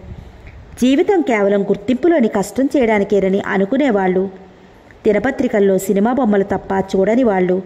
ప్రతి పండక్కి అప్పు చేసి కొత్త బట్టలు కొనేవాళ్ళు. ఇలాంటి కోటాను కోట్ల మందిలో సీతాలక్ష్మి ఒకరు. ఇంట్లో కొండు సూదిపోయిన ఆందోళన పడే మనస్తత్వం ఆమెది. తను సినిమా థియేటర్కి వెళ్ళేసరికి హౌస్ఫుల్ బోర్డు కనిపిస్తే థియేటర్ వాడు కుట్ర చేశాడని అనుకుంటుంది. హిరణ్య మాతృభక్తితో మాయాబజార్ క్యాసెట్ తెస్తే అది కనిపించకుండా పోవడం ఏమిటి? అందులో మాయాబజార్ సినిమా కాకుండా ఎవరో ఒక ఆయన చేసిన తప్పుడు పనులు ఉండటం ఏమిటి? సీతాలక్ష్మి మనసులో ఆశ్చర్యపడుతూనే ఉంది. ఆ క్యాసెట్ కోసం రహస్యంగా వెతుకుతూనే ఉంది. ఐదున్నరకి లేచి కుంచే చీపురు తీసుకుని నిద్రపోయే వాళ్ళకి ఇబ్బంది కలగకుండా ఇల్లు ఉడ్చటం ఆవిడ అలవాటు. అందరూ లేచాక మళ్ళీ ఊడుస్తుంది. టేప్ రికార్డర్లో జానకి జేసుదాసు భక్తి పాటల క్యాసెట్ పెట్టి చీపురు తీసుకుని హిరణ్య పడగదిలోకి వెళ్ళింది. ఐదు నిమిషాల్లో అంతా ఊడ్చి సాచిక గదిలోకి వెళ్ళి తర్వాత హాల్లోకి వచ్చింది. హాల్లో ప్లాస్టిక్ నవారు మంచం మీద పక్క లేకుండా కేవలం దిండు ఒక్కటి పెట్టుకుని నిద్రిస్తున్న భర్త వైపు చూసి ఓ మూల నుంచి ఊడ్చటం ప్రారంభించింది. తనకి నాలుగు దిల్ దిగుళ్ళు సాత్యకి ఉద్యోగం హిరణ్య పెళ్ళి బ్రహ్మ నిర్లక్ష్యం భర్త అప్పులు. భర్త పడుకున్న మంచం దగ్గరికి వెళ్ళి కిందకి వంగి చీపురుతో ఓడ్చబోతూ ఆగిపోయింది. తిండు కింద నుంచి క్యాసెట్ కనిపిస్తోంది. సీతాలక్ష్మి రెండు క్షణాలు కదలకుండా అదే ఫోజులో ఆగిపోయింది. మెల్లగా చెయ్యి పెట్టి ఆ క్యాసెట్ తీసి చూసింది మాయాబజార్. ఢిల్లీ టీవీ అనౌన్సర్లా నవ్వుతూ వెనక్కి తిరగబోయింది. వెనుక మంచం మీద అలికిడి ఎస్ఆర్ సున్నం లేచి కూర్చున్నాడు. పడుకునే ముందు ప్యాసిఫైన్ మాత్రలతో పాటు రెండు స్ప్రింగులు మింగినవాడిలా ఇదిగో నిన్నే సీతాలక్ష్మి ఆగిపోయింది. ఆ క్యాసెట్ ఇలా ఇచ్చే అన్నాడు ఆయన. ఆవిడ ఇవ్వదనే అనుమానంతోనో ఏమో తనే లేచి ఆమె దగ్గర క్యాసెట్ తీసుకున్నాడు. ఇది హిరణ్యది. తెలుసు మొన్న పుట్టినరోజును తెచ్చింది. తర్వాత పోయిందని చెప్పింది. అన్నని తమ్ముణ్ణి అడిగింది. వీడియో షాప్ వాడు మొన్న ఇక్కడికి వచ్చాడు. వాడి క్యాసెట్ వాడి మొహాన పారేస్తే పోతుంది. పోదు పోకూడదు. పోనివ్వను. నువ్వు అలా చూస్తూ ఉండు. అయితే క్యాసెట్ ఇవ్వరా అతడికి ఇద్దాం తొందరే ఉంది. ఈలోగా అది స్వప్న వాడింట్లో వేరే క్యాసెట్ ఉంటే ఇచ్చి వచ్చింది. రహస్యం చెప్పేసింది సీతాలక్ష్మి. ఎస్ఆర్ సున్నం ఆ రోజు మొదటిసారిగా నవ్వు. నవ్వాడు. ఇంకేం సమస్య ఇంకే సమస్య లేదు. ఇది నిజంగా మాయాబజార్ క్యాసెట్ కాదు. ఈ సంగతి ఎవరికీ చెప్పకు. మరి ఏమిటది ఏమన్నా వెదవ క్యాసెట్టా? తెలియనట్టు అడిగింది సీతాలక్ష్మి. అదీ కాదు. అసలు రహస్యం తర్వాత చెప్తాను. ఈ క్యాసెట్ మన దగ్గరుందని ఎవరికీ చెప్పకు. మీరు చెప్పకపోయినా తర్వాత ఎలాగో తెలుస్తుంది. అంది వాహిని. పడక్కది కొమ్మం దగ్గరించి వస్తూ ఎస్ఆర్ సున్నం అసంకల్పిత ప్రతీకార చర్యలాగా ఆ క్యాసెట్ను వెంటనే దాచేశాడు తిండి కింద. తండ్రి అమాయకత్వానికి వాహిని నవ్వింది. నిన్న సాయంత్రం డీడీ వచ్చాడు తెలుసా మీకు? తెలీదు. అక్కని ఈ క్యాసెట్ ఇమ్మని అడిగాడు. వాడెవడు? అనూర ప్రసాద్ గోండా ఆట అక్కే చెప్పింది. నేను ముందే చెప్పలేదు ఆ క్యాసెట్ వాళ్ళకి ఇస్తే సరి. లేకపోతే గుండాలు హంతకులు ఇంటి మీదకి వస్తారు అంది సీతాలక్ష్మి. వాడికి ఈ క్యాసెట్కి సంబంధం ఏమిటి? ఏమో వాడు చెప్పలేదు మేము అడగలేదు. చెప్పకపోయినా నాకు అర్థమైంది. ఈ క్యాసెట్ సృష్టికర్త అనూర ప్రసాద్. అది ఎలాగో చేతులు మారి హిరణ్య దగ్గరికి వచ్చింది. ఇది ఇప్పుడు బయటికి వెళితే అనూర ప్రసాద్కి ప్రమాదం. అందుకే దీన్ని ఏదో రకంగా సంపాదించాలని చూస్తున్నాడు. అవును నాన్న ఈ క్యాసెట్ ఇస్తే రెండు వేలు ఇస్తామని కూడా డీడీ చెప్పాడు. ఎస్ఆర్ సున్నం రోడ్డు మీద బాగా పరిసిన పర్స్ దొరికిన వాళ్ళ ఆనందించాడు వెంటనే తన ఇష్టదైవం పటం వైపు చూశాడు. చూస్తూ ఉండు. అసలు డ్రామా ఇప్పుడు ప్రారంభమవుతుంది. ఊహాశక్తిలో కథలు అల్లడం కేవలం రచయితల ప్రివిలేజ్ కాదు. చాలామంది కలం పట్టని వాళ్ళు కూడా అద్భుతంగా ఇష్టం వచ్చినట్టు ఊహించగలరు. అలాంటి వాళ్ళలో నయనతార ఒకతే. ఎదిరెట్టి హిరణ్య దగ్గరికి మంగళవారం రాత్రి ఇద్దరు కుర్రాళ్ళు వచ్చారు. నోట్సులు ఇవ్వలేదు తీసుకోలేదు కాబట్టి వాళ్ళు కాలేజీ కుర్రాలు కాదు. హిరణ్య వాళ్ళకు క్యాసెట్ ఇచ్చింది. తర్వాత డీడీ వచ్చాడు. అతను గూండా. అతనికి హిరణ్యతో ఏం పని? లేదా ఈ ప్రశ్నను మార్చుకోవచ్చు. హిరణ్యకి అతనితో ఏం పని? ఏం పని అంటే ఈ ప్రశ్నకు జవాబు ఆమెకు తట్టలేదు. కానీ ఆమె భర్త భగత్కి తట్టింది. అతని తండ్రి విప్లవంలోకి వెళ్ళకుండా పిల్లలకి విప్లవకారులు పెట్టి విప్లవకారుల పేర్లు పెట్టి తను విప్లవంలో భాగం పంచుకున్నట్టు ఫీల్ అయ్యేవాడు. తనకి లాభం లా రాని లేని విషయాల్లో మాత్రం పక్కా సోషలిస్ట్. మొదట ఇద్దరు కుర్రాళ్ళు. మోటార్ సైకిల్ మీద వచ్చారన్నావు కదూ? అవునండి. హిరణ్య వాళ్ళకు ఒక క్యాసెట్ ఇచ్చింది కదూ? అవును. తర్వాత టీడీ వచ్చాడు. అవును. అతని క్యాసెట్ ఇచ్చిందా? లేదు. అసలు హిరణ్య ఎన్ని క్యాసెట్లు తెచ్చింది? సోమవారం నాడు రెండు తెచ్చింది. కనుక్కున్నాను చెప్పింది హరినయనతార. అందులో ఒకటి తిరిగిచ్చింది రెండోది ఇవ్వలేదు. అవునండి. టీడీ ఏమన్నాడో వినిపించిందా నీకు? ఆ క్యాసెట్ అర్జెంటుగా కావాలి అన్నాడు. ఇంకే? రహస్యం తెలిసిపోలేదు? అది బ్లూ క్యాసెట్. హిరణ్య రహస్యంగా చూస్తుంటే ఇంట్లో వాళ్ళు చెడతిట్టి దా దాచిపెట్టారు. మరి ఆ క్యాసెట్ కోసం డీడీ ఎందుకు వచ్చినట్టు? పిచ్చిదానా వెర్రిదానా? హిరణ్య ఏదో రకంగా ఆ క్యాసెట్ తనే ఉంచేసుకుని రోజు తనివితేరా చూసి ఆనందిద్దామనుకుంది. కానీ వీడియో షాప్ వాడు ఎందుకు ఊరుకుంటాడు? రెండు రోజులు చూసి ఆ బ్లూ క్యాసెట్ తెమ్మని పంపించాడు. రోజు బ్లూ చూద్దామనా? అదేం పోయే కాలం? అంది నయన తార ఆమెకి ఎన్నాళ్ళ నుంచో కోరిక. కనీసం ఒక్క బ్లూ అయినా చూడాలని. దానికి కారణం ఆమె జీవితంలో బ్లూ రాత్రులు తక్కువ. భగత్కి నడున్నొప్పి ఎప్పటికీ పోదు. పోయే కాలం వస్తే పోతుంది. మనమేం చేస్తాం? అన్నాడు భగత్. బ్లూ శబ్దానికి భయపడి. కానీ నయనతార అలా అనుకోలేదు. ఈ మిస్టరీ ఛేదించడానికి ఆమెకు మంచి ఐడియా తట్టింది. రాత్రి సరిగా నిద్ర పట్టలేదు విశ్వంభరకి. తానెంతో ప్లాన్ ప్రకారం ఆ క్యాసెట్ని ఇంట్లో ఉంచితే ముక్కు మొహం తెలియని వాడికి ఇచ్చి పంపడం ఏమిటి? భార్య మీద కోపం ఇంకొంచెం ఎక్కువైంది అతనికి. ఉదయాన్నే గడ్డం గీసుకుంటుంటే తెగింది. అలా తెగడానికి కారణం భార్యనని వెంటనే నమ్మకం కుదిరింది. విశ్వంభర వంటగదిలోకి వెళ్ళాడు. నా కెరీర్ ధ్వంసమైపోయింది అన్నాడు విశ్వంభర తగాదాకి నాందిగా. నేనేం చేశాను?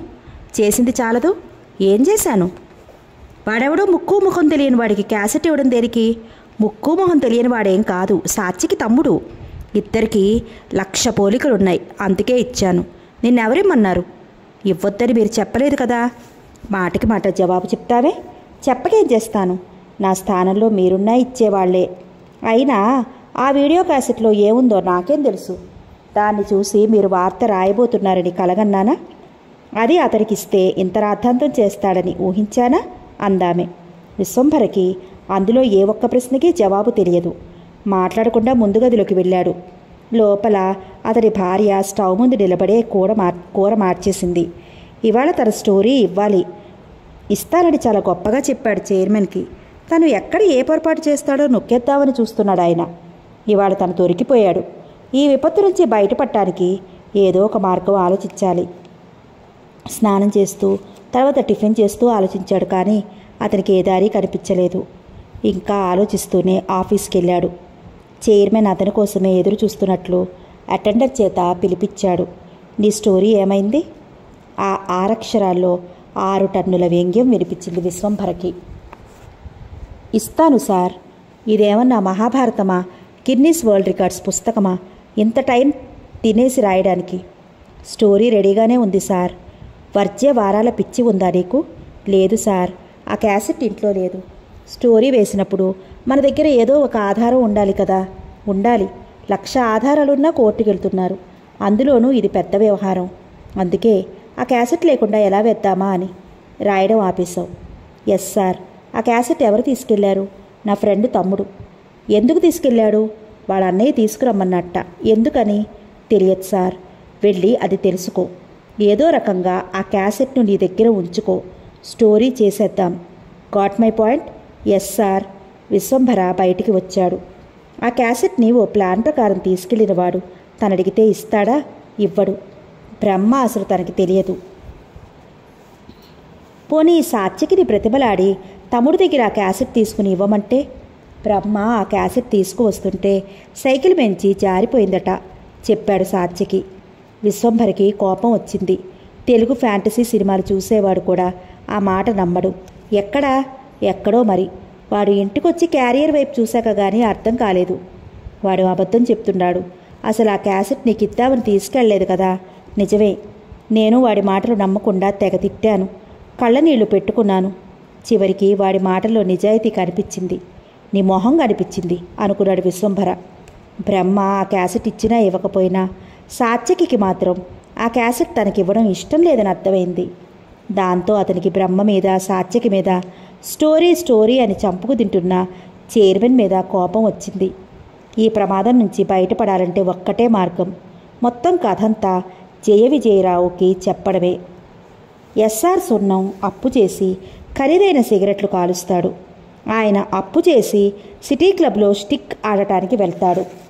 నెలకి అరవై ఇరవై తొమ్మిది రోజులు విచ్చలవిడిగా ఖర్చు పెట్టి ఒక్కరోజు మానేసి తన ఆత్మ నిగ్రహానికి సంతోషిస్తాడు. ఆయన బీకామ్ ఆనర్స్ చేశాడు. మొదట్లో ఉద్యోగం దొరక్క కొంతకాలం పెట్రోల్ బంకులో పనిచేశాడు. అప్పుడే ఆయనకి మాటలు అమ్మడం చేతయింది. తన వాక్చాతుర్యంతో డబ్బు సంపాదించవచ్చునని అప్పుగా అర్థమైంది. అయితే అప్పులు చేయడంలో కూడా ఆయన నీతి పాటించాడు. కేవలం బంధువుల దగ్గరే అప్పులు చేసేవాడు. దీనివల్ల రెండు లాభాలు కనిపించాయి. మొదటిది అప్పు తిరిగి ఇవ్వకపోతే ఐదారు సార్లు అడిగి మానేస్తారు. రెండోది తన ఇంటికి రావడం మానేస్తారు. ఎస్ఆర్ సున్నం ఏదో రకంగా డబ్బొచ్చి పడుతుందనే భ్రమలో ఉంటాడు. ప్రణాళిక కమిషన్ కూడా ఆశ్చర్యపడే ప్లాన్లు వేస్తూ ఉంటాడు. సింగపూర్ నుంచి ఎలక్ట్రానిక్ వస్తువులు తెచ్చి అమ్మితే చాలా లాభం. సింగపూర్ నుంచి ఎలక్ట్రానిక్ వస్తువులు తెచ్చి అమ్మితే చాలా లాభం. ఫలానా మంత్రిగారి బావమరిది బావమరిది తమ్ముడు తన హోటల్ యజమాని తమ్ముడు మిత్రుడు కాబట్టి వీళ్ళ ద్వారా మంత్రిని పట్టుకుని తన కాంట్రాక్టర్ మిత్రుడికి ఎల్ఐజీ కాలనీలో వెయ్యి ఇళ్ళు కట్టే కాంట్రాక్ట్ ఇప్పిస్తే తనకి కనీసం లక్ష రూపాయలు మిగులుతుంది. టీవీ తెర మీద పేరు కనిపిస్తే చాలు. జన్మ ధన్యమైపోతుందని భావించే రచయితని పట్టుకుని తన హోటల్ యజమానిని స్పాన్సర్షిప్ అడిగి తను టీవీ సీరియల్ లాగిస్తే ఎంత లాభం? పేకాట రేసులు తెలియని వాళ్ళకే బాగా డబ్బొస్తుందిట. అలాగే తను బెంగళూరు వెళ్ళి మెక్డోవల్ డర్పీ జాకెట్ జాక్పాట్ కొట్టేస్తే? ఆహా ఎస్ఆర్ ఆలోచనలు అలా ఉంటాయి. అయితే ఆయన ఏ ఆలోచన అమలులో పెట్టలేదు కాబట్టి ఇంతవరకు లాభం అంటూ రాలేదు. ఆయన అమలు చేస్తోంది. ఆర్భాటంగా జీవించడం ఒక్కటే. కనీసం నెలకి పదిహేను వేలు లేకపోతే తనలాంటి వాళ్ళు బతకలేరని ఆయన విశ్వాసం. నీ మొదటి పుట్టినరోజుకి మీ నాన్న ఐదు వేలు ఖర్చు పెట్టాడు. చిన్నప్పుడు నీకున్న బొమ్మలు కలెక్టర్ కూతురికి కూడా ఉండేవి కాదు. అలా ఖర్చు పెట్టేవాడు మీ నాన్న అప్పు చేసి. ఇప్పటికీ సీతాలక్ష్మి హిరణ్యకి చెబుతూ ఉంటుంది అప్పుడప్పుడు. మీ చిన్నప్పుడు కార్లలో తిరిగేవాళ్ళం. ఓసారి మద్రాసు వెళ్ళి సినిమా యాక్టర్లని చూసొచ్చాం. బ్రహ్మకి అప్పుడు రెండేళ్ళు. ఎన్టీఆర్ వాడిని ఎత్తుకున్నాడు కూడా. సాత్యకి ఆ సంఘటన గుర్తుంది. వేసవకాలం వస్తే ఐదారు బుట్టలు మామిడి పళ్ళు చిన్న సైజు మార్కెట్లా ఉండేది మన ఇల్లు. బట్టలు ఒక్కొక్కళ్ళకి ఎన్ని జతలో మీ నాన్నకి ఎనిమిది జతలు చెప్పులు ఉండేవి ఎస్ఆర్ సున్నం భేషజం ఇప్పటికీ అలాగే ఉంది. చిన్న ఇళ్ళన్నా కూర ఒక్కటే వేసుకుని అన్నం తినడం అన్నా ఆయనకి ఎంత కోపమో. అందుకే ఆయన ఇప్పుడు ఐదు గంటలు ఐదు గదుల ఇంట్లో ఉంటున్నాడు. ఆయన ఎవరింటికి వెళ్ళడు. ఆయన ఎవరింటికి వెళ్ళడు. బంధువులు ఆయన దగ్గరికి రారు. తల్లి చనిపోయినప్పుడు కూడా ఆయన తమ్ముడి ఇంటికి వెళ్ళలేదు. ఆవిడ తన ఒంటి మీద ఉన్న నలభై కాసుల బంగారాన్ని తమ్ముడికే ఇచ్చిందనే కోపంతో. రాత్రి కిటికీలో నుంచి అలవోకగా బ్రహ్మ చూస్తున్న వీడియో సినిమా చూసినప్పటి నుంచి ఆయన మనసులో ఎన్ని ఆలోచనలు పుట్టాయో కేవలం శకుంతలాదేవి లాంటి వాళ్ళే లెక్కించగలరు. ఇవాళకి తనకి అదృష్టం ఎదురొచ్చిందని ఈ అవకాశాన్ని సద్వినియోగం చేసుకుని కనీసం ఓ లక్ష సంపాదించాలని రాత్రి పడుకునే ముందే అనుకున్నాడు. సోఫాలో మఠం వేసి కూర్చుని ఆ క్యాసెట్ను అటు ఇటు తిప్పుతూ ఆడుకుంటున్నాడు ఎస్ఆర్ సున్నం. హాల్లోకి మొదట హిరణ్య వచ్చింది. తర్వాత వాహిని బ్రహ్మ సాత్యకి చివరికి సీతాలక్ష్మి వచ్చారు. ఇవాళకి తనకి అదృష్టం ఎదురొచ్చిందని ఈ అవకాశాన్ని సద్వినియోగం చేసుకుని కనీసం ఓ లక్ష సంపాదించాలని రాత్రి పడుకునే ముందే అనుకున్నాడు. సోఫాలో మఠం వేసి కూర్చుని ఆ క్యాసెట్ని అటు ఇటు తిప్పుతూ ఆడుకుంటున్నాడు ఎస్ఆర్ సున్నం. హాల్లోకి మొదట హిరణ్య వచ్చింది. తర్వాత వాహిని బ్రహ్మ సాత్యకి చివరికి సీతాలక్ష్మి వచ్చారు. వాళ్ళందరినీ కూర్చోమని చెప్పి గొంతు సవరించుకున్నాడు ఎస్ఆర్ సున్నం. అనూరప్రసాద్ జయ విజయరావు బద్ధ శత్రువులు. ఒకరినొకరు దెబ్బతీసుకోవాలని చూస్తూ ఉంటారు. ఆపి అందరి వైపు చూశాడు సున్నం. అందరూ తన వైపే చూస్తున్నారు. డబ్బా మరొకట. మళ్ళీ చెప్పటం ప్రారంభించాడు ఉత్సాహంగా. అనూరప్రసాద్ జయ విజయరావు రహస్య జీవితాన్ని ఈ క్యాసెట్ ద్వారా చూపించాలనుకున్నాడు. ఎవరికి? ఆదాయం పన్ను వాళ్ళకి. వాళ్ళ క్యాసెట్ చూస్తే జయ విజయరావు ఇంట్లో ఇప్పట్లో తేలుకోడు. అదృష్టం కొద్ది. ఎవడదృష్టం ఏమదృష్టం? వేధవ గొడవ. మన ఇంటి చుట్టూ ముప్పై ఆరు మంది రౌడీలు తిరగడం నాకు ఇష్టం లేదు. తిరగని ఏం కాదు. క్యాసెట్ మన దగ్గర ఉన్నంత వరకు వాళ్ళు మనల్ని ఏమీ చేయలేరు. మధ్యలో ఆపకుండా మొత్తం విను. అదృష్టం కొద్ది ఈ క్యాసెట్ మన చేతికి వచ్చింది. ఈ క్యాసెట్ అనూరప్రసాద్ నిర్వాకబడి తెలిస్తే జేవిజరావు ఊరుకోడు. అతని మీద కక్ష తీర్చుకుంటాడు. ఈ క్యాసెట్తో ఇద్దరికీ అవసరం ఉంది ఇప్పుడు చెప్పాడు సాత్యకి కరెక్ట్. అనురప్రసాద్ ఈ క్యాసెట్ సంపాదిస్తే జయ విజయరావుని బ్లాక్మెయిల్ చేయడానికి శాశ్వతంగా ఉపయోగపడుతుంది. ఒకవేళ జయ విజయరావు సంపాదిస్తే దీన్ని బ్లాస్ట్ ఫర్నెస్లో వేసి తగలపెట్టి నిశ్చింతగా నిద్రపోతాడు. ఇప్పుడు అసలు ప్రశ్న దీన్ని ఎవరికి ఇవ్వాలి అనూర ప్రసాద్కి చెప్పాడు బ్రహ్మ. అతని కిడ్లీ షాపు మిత్రుడికి క్విక్ బీరు కంటే కిక్కే బాగా నచ్చిందట. ఈ క్యాసెట్ సృష్టికర్త అతనే కాబట్టి అతనికే ఇవ్వాలి చెప్పింది సీతాలక్ష్మి. నీ అభిప్రాయం ఏమిటి? అడిగాడు. సొన్నం హిరణ్యని. నాది అంతే. ఈ క్యాసెట్ని జయ విజయరావుకి ఇవ్వాలి. తన అభిప్రాయం అడక్కపోయినా చెప్పింది వాహిని. ఎవరు ఎక్కువ డబ్బిస్తే వాళ్ళకి ఇవ్వాలి చెప్పాడు సాత్యకి ఇది తెలివైన ఆలోచన అంటే ఇద్దరి మధ్య పోటీ పెట్టి ఓ లక్ష రూపాయలు ఎవరిస్తే వాళ్ళకి ఇవ్వాలి ఇలాంటి మహదావకాశం జన్మకోసారి వస్తుంది అన్నాడు ఎస్ఆర్ అమ్మో లక్ష రూపాయలే? ఆశ్చర్యపడింది వాహిని. లక్షిస్తే ఇంట్లో ఐదుగురు ఉన్నాం కాబట్టి తలో ఇరవై వేలు పంచుకోవచ్చు అన్నాడు బ్రహ్మ. అతని తల్లిని అతని తల్లిని లిస్టులోంచి తీసేశాడు. నాకొచ్చే ఇరవై వేలు ఎవరో ఒకరికి లంచం ఇచ్చి ఉద్యోగం సంపాదించుకుంటాను అన్నాడు సాత్యకి నా డబ్బుతో పోలని బట్టలు చెవులకి రింగ్స్ చేతులకి గాజులు చేయించుకుంటాను. మరి నువ్వు? అడిగింది వాహిని హిరణ్యని. నీకే ఇస్తాను. నాకెందుకు? నీ డబ్బుతో నువ్వు నగలు చేయించుకో. నేను మాత్రం బిజినెస్ చేస్తాను చెప్పాడు సున్నం. ఏం బిజినెస్ చేస్తాడో చెప్పకుండా. నా సంగతి మర్చిపోయారే? అడిగింది సీతాలక్ష్మి. మా దగ్గరుంటే నీ దగ్గర ఉన్నట్టేగా నీకు విడిగా డబ్బెందుకు? అడిగాడు సాత్యకి బ్రహ్మ వాహిని ఎస్ఆర్ సున్నం నవ్వారు. హిరణ్య మాత్రం తల్లి ఏం చెప్తుందా అని ఆసక్తిగా చూసింది. ముసలితనంలో కొడుకులు కూతుళ్ళతో ఎవరు చూడాలన్నా నా దగ్గర కొంచెం డబ్బు ఉండాలి కదా అందామె. ఎవ్వరూ మాట్లాడలేదు. మధ్యాహ్నం పన్నెండు మూడు. అనూర ప్రసాద్లాగా జయ జయ విజయరావు అదృష్టం కలిసొచ్చి పారిశ్రామికవేత్త అయినవాడు కాదు. అతడి తాత తల్లిదండ్రులిద్దరూ పారిశ్రామికవేత్తలు కాకపోయినా వ్యాపారం చేసిన వాళ్ళే అయితే వాళ్ళిద్దరికీ జయ విజయరావుకి ఒక తేడా ఉంది. వాళ్ళు తమ సొంతానికి కూడా ఎక్కువ ఖర్చు పెట్టుకునేవాళ్ళు కాదు. అదే పాతకాలం ఇంట్లో పాత ఫర్నిచర్తో బతికారు. తమకు బాగా తెలిసిన పొగాకు వ్యాపారం తప్ప ఇంకో దాని జోలికి పోలేదు. జయ విజయరావు ఏ వ్యాపారానికైనా సిద్ధమే. పైగా దర్పంగా జీవించడం అంటే ఇష్టం. తండ్రి పోయిన వెంటనే ఇంటి మొత్తాన్ని రీమోడల్ చేయించి మూడు గదులు ఏసీ చేయించాడు. పైగా అతడికి పబ్లిసిటీ అంటే చాలా ఇష్టం. తనకి తన వ్యాపారాలకి. శ్రీరామనవమి ఉత్సవాల దగ్గర నుంచి కాశ్మీర్ బాధితుల సహాయ నిధి వరకు విరాళాలు ఇస్తూ ఉంటాడు. ఆయనకి చాలా బిరుదులు కూడా ఉన్నాయి.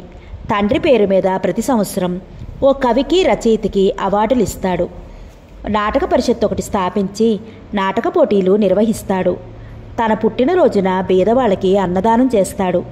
కళాకారులు బీదవాళ్ళే ఎక్కువ కృతజ్ఞత చూపిస్తారని ఆయన విశ్వాసం. జయ విజయరావు జయా కన్స్ట్రక్షన్స్ బాగానే ఉంది. పెట్రోల్ బంకులు బాగానే ఉన్నాయి.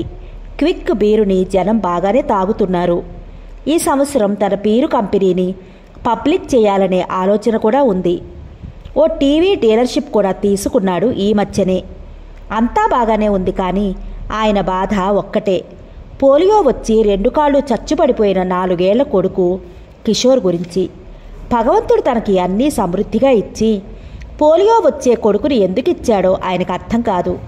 ఎవరికి పూర్తి ఆనందం ఇవ్వడం దేవుడికి ఇష్టం లేదేమోనని తాత్విక నిర్ణయానికి మాత్రం రాగలిగాడు. ఆయన కోపం కేవలం అనూర్ ప్రసాద్కి ఒక్కడి మీదే. తన కంపెనీ పేర్లని వ్యాపారం మెలకువల్ని కాపీ కొడతాడని తన బీరు క్విక్ అని చూసి కిక్ మార్కెట్లోకి తెచ్చాడు.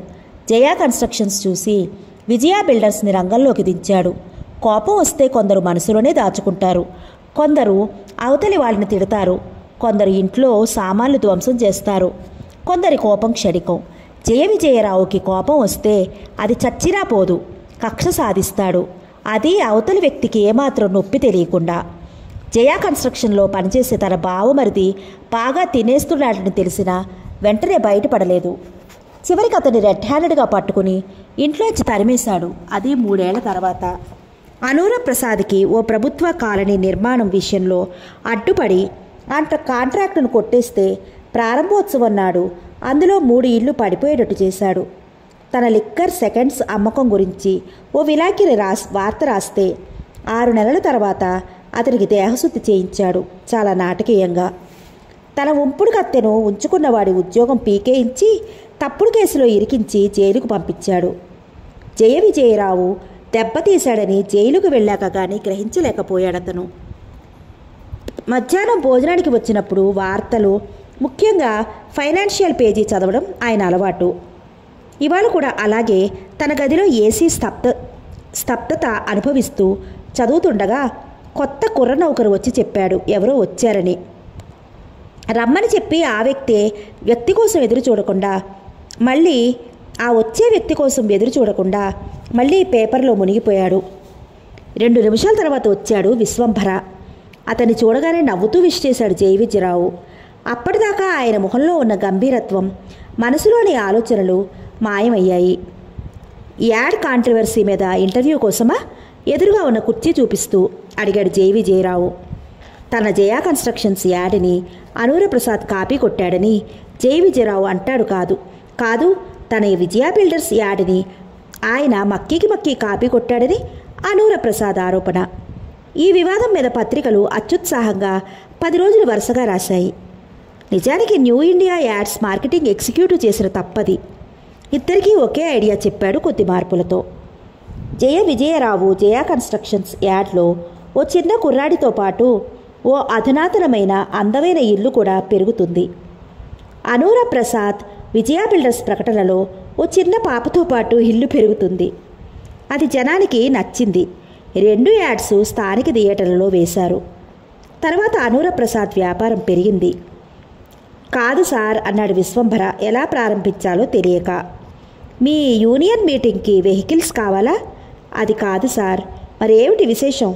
మీ దగ్గర ఇరవై ఆరు బంగారు బిస్కెట్లు ఉన్నాయని నాకు తెలిసిపోయింది. గది మధ్య పిడుగుపడ్డట్టు ఉలిక్కిపడ్డాడు జై విజయరావు. వాళ్ళిద్దరూ తప్ప ఎవరూ లేని గదిలో చుట్టూ చూశాడు. ఎలా తెలిసింది? అవి కూడా మీ పడగ్గది కుడివైపు మూల ఫాల్స్ సీలింగ్లో దాచారు. జయ విజయరావు బల్ల మీద మోచేతులు పెట్టి ముందుకు వంగాడు. This is too much. మీ పూజా మందిరంలో వెంకటేశ్వర స్వామి పీఠం కింద అరలో రహస్య పత్రాలున్నాయి. ఐ మీన్ మీ బ్లాక్ ప్రాపర్టీ. మీకెలా తెలుసు? ఓ వీడియో క్యాసెట్ ద్వారా. జయ విజయరావు కుర్చీలో నుంచి లేచి యువతలకి వచ్చాడు. తనని గ్యారంటీగా చెంప పగలకొడతాడని అనుకున్నాడు విశ్వంభర. కానీ ఆయన అదేం చెయ్యలేదు. పక్కనున్న సోఫాలో కూలబడ్డాడు. ఆ క్యాసెట్ ఎక్కడుంది? ఎవరు తీశారు? నీ దగ్గరికి ఎలా వచ్చింది? నీతో పాటు ఇంకెవరు చూశారు? మీ మొదటి ప్రశ్నకు జవాబు ఆ క్యాసెట్ ఎస్ఆర్ సున్నం ఇంట్లో ఉంది. రెండో ప్రశ్నకి జవాబు తెలియదు. మూడో ప్రశ్నకి ఆన్సర్ సున్నం కొడుకుని కొడుకు నాకు చూపించాడు. నాతో పాటు అతను తప్ప ఇంకెవరన్నా చూశారేమో నాకు తెలియదు. ఇది మీ నాలుగో ప్రశ్నకి సమాధానం. వాళ్ళ చేతికి ఎలా వచ్చింది? ఓ వీడియో షాపులో పొరపాటున మాయాబజార్ క్యాసెట్ బదులు ఇది తీసుకువెళ్ళారు తీసుకెళ్ళింది ఎవరు సొన్నం కూతురు హిరణ్య. అంతలో తలుపు దగ్గర చప్పుడయింది. ఇద్దరూ తలుపు వైపు చూశారు. హిరణ్య స్వయంగా ఆ క్యాసెట్ తెచ్చి ఇస్తున్నట్టు. కానీ అక్కడ హిరణ్య లేదు క్యాసెట్ లేదు. వీల్ చైర్ ఉంది అందులో జేవి జయరావు నాలుగేళ్ళ కొడుకున్నాడు. అతని ఒళ్ళో కెమెరా ఉంది. వీల్ చైర్ వెనుక నౌకర్ కుర్రాడున్నాడు. ఆ చైర్ సీటు ఎత్తుగా ఉంది. వెనక్కి ఆనుకునే స్పాంజ్ చాలా మందంగా ఉంది. దాని మీద రెండు కెమెరా బొమ్మలున్నాయి. సరిగ్గా వాటి మధ్య ఆ కుర్రాడి తల ఉంది. ట్వింకిల్ ట్వింకిల్ వచ్చేసింది డాడీ. Very good. చెప్పమంటావా? ఇప్పుడొద్దు నేను మళ్ళీ పిలుస్తాను. నువ్వు వెళ్ళి నిద్రపో. మధ్యాహ్నం నిద్ర మంచిది కాదని మా మాస్టారు చెప్పారు డాడీ. అయితే ఎక్కాలు నేర్చుకో. నేను మళ్ళీ పిలుస్తాను. Okay daddy. నౌకరు కుర్రాడు వీల్ చైర్ని వెనక్కి లాగి పక్కకి తిప్పి తీసుకెళ్ళాడు. మా అబ్బాయి ఇదివరకు చూసినట్టున్నావు కదూ? చూశాను. డబ్బున వాళ్ళకు కూడా బాధలుంటాయని. మీ అబ్బాయిని చూశాకే అర్థమైంది నాకు. వాడి ప్రపంచంలో వీల్ చైరే ఎప్పుడున్నా బయటికి తీసుకెళ్తాను. రోడ్డు మీద పిల్లలు పరుగులు కేరింతలు చూసి బాధపడతారు. మీ వాడికి కెమెరా అంటే ఇష్టమా? మహా ఇష్టం. ఎప్పుడు చేతిలో అది ఉండాలి. అనుకున్నాను. వీల్చైర్ కవర్ మీద బొమ్మలున్నాయి అన్నాడు విశ్వంభర. జై విజయరావు నవ్వాడు. తన కొడుక్కి అంత చిన్న వయసులోనే కళాపిపాస ప్రారంభమైనందుకు. మీ వాడిని ఎప్పుడన్నా జ్యువెలరీ షాపుకి తీసుకువెళ్ళారా ఎస్. ఈ మధ్య ఒకసారి తీసుకువెళ్ళాను. ఏం అలా అడిగారు? ఆ వీడియో క్యాసెట్లో ఆ దృశ్యం కూడా ఉంది. హిరణ్య మాయాబజార్ చూసినా బ్లూ సినిమా రహస్యంగా చూసినా నయన తనకొచ్చే నష్టం లేదు. లాభం అసలు లేదు. కానీ ఆమెకి అమితమైన అసూయ. హిరణ్య వాళ్ళింట్లో టీవీ ఫ్రిడ్జు సున్నంకి మోపెడు ఉన్నాయి. ఈ మధ్యే వాషింగ్ మెషిన్ కొన్నారు. ఇంట్లో అందరూ మంచి బట్టలు వేసుకుంటారు. హిరణ్యకి ఎన్నో చీరలున్నాయి. వాళ్ళింట్లో ఎవరేం చేస్తూ ఉంటారో ఎవరెవరు వచ్చిపోతూ ఉంటారో చూడటం నయనతార ప్రధాన హాబీ. గొప్పవాళ్ళలో లొసుగులు ఏరి వాటి గురించి వీలైనంత రోతగా చర్చించి ఆయా లొసుగుల వల్ల వాళ్ళేమంత గొప్పవాళ్ళు కాదనుకోవడం చాలామందికి అలవాటు. శ్రీశ్రీ తాగుడికి అందుకే అంత ప్రాముఖ్యం వచ్చింది. నయనతార దృష్టిలో ఎదిరింటి వాళ్ళే హీరోలు. వాళ్ళే గొప్పవాళ్ళు. వాళ్ళలో ఏదైనా లోపం కనిపిస్తే ఆమె చాలా ఆనందిస్తుంది. అందుకే హిరణ్య బ్లూ చూసిందా లేదా అనేది నిర్ధారించుకోవాలని నిర్ణయానికి వచ్చింది. హిరణ్య తనతో మాట్లాడదు. మాట్లాడినా మొన్న రాత్రి బ్లూ చూసావా? అని అడగటం బాగుండదు సాత్యకి దొంగచూపులు తప్ప మాట్లాడి చావడు. భగత్కి అతని మీద కోపం. బ్రహ్మ కోతి వెధవ. వాడితో లాభం లేదు. సీతాలక్ష్మి సరే సరి. ఆరుగురికి వంట చేయడానికి తెల్లవారుజాము నుంచి శ్రమ పడుతూనే ఉంటుంది. ఇక మిగిలింది వాహిని. అప్పుడప్పుడు తన దగ్గరికి సన్నజాజుల కోసం వీక్లీల కోసం కొత్త ముగ్గుల కోసం వస్తూ ఉంటుంది. నయనతార ఒక నిర్ణయానికి వచ్చి తన కొడుకుని పిలిచింది. వాడు ఇంటి ఆవరణలో చెట్టు కింద గోళీలాడుతున్నాడు ఇంకో కుర్రాడితో. వాహినిని పిలుచుకురా ఎందుకు అడిగాడు వాడు. గిరిలో ఉన్న గోలీ వైపు గురి చూస్తూ పనుంది. ఏం పని? గోలీతో కొట్టాడు వాడు. ముగ్గులు నేర్చుకుంటానంది. ముగ్గులు నేర్చుకోవడం వేస్ట్ అన్నాడు. పక్కింటి కుర్రాడి దగ్గర రెండు గోళీలు తీసుకుంటూ ఆ సంగతి నాకు తెలుసు. వెళ్ళి పిలుచుకొస్తావా లేదా? పిలుస్తానుండు. వాహినిని పిలవమని ఇంకో పదిసార్లు చెప్పాక పది క్షణాల్లో ఎదురింటికి వెళ్ళి మా అమ్మ రమ్మంటోందని అరక్షణంలో వాహినికి చెప్పి ఏడు క్షణాల్లో తిరిగి వచ్చాడు వాడు. తర్వాత పది నిమిషాలకి వాహిని వచ్చింది. నీ ఎక్స్కర్షన్ విశేషాలు విందామని పిలిపించాను.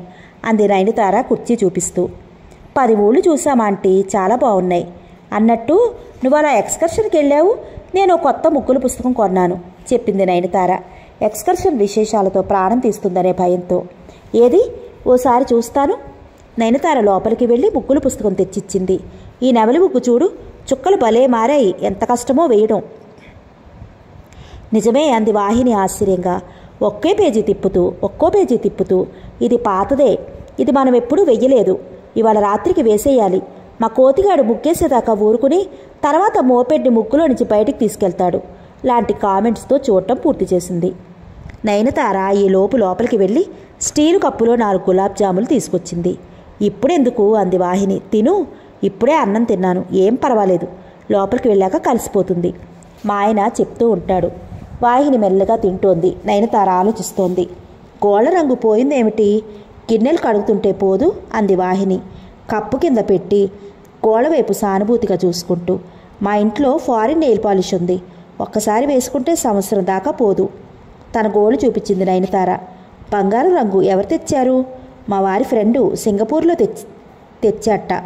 బాగున్నాయి మీ కోళ్ళు అంది వాహిని. నాకు వేస్తారా అని అడగలేక నయనతార లోపలికి వెళ్ళి ఆ విదేశీ పాలిష్ తెచ్చింది. వాహిని చేతిని ఒళ్ళో పెట్టుకుని రంగు వేయడం మొదలుపెట్టింది. మొన్న నువ్వు లేవు కదా ఆ రోజు రాత్రి మీ ఇంటికి ఇద్దరు కుర్రాళ్ళు వచ్చారు ఎవరు వాళ్ళు? నాకేం తెలుసు? మీ అక్కతో మాట్లాడారు. మీ అక్క ఓ క్యాసెట్ ఇచ్చి పంపింది. ఆహా నిన్న కూడా మీ ఇంటికి మోటార్ సైకిల్ మీద ఎవరో వచ్చారు.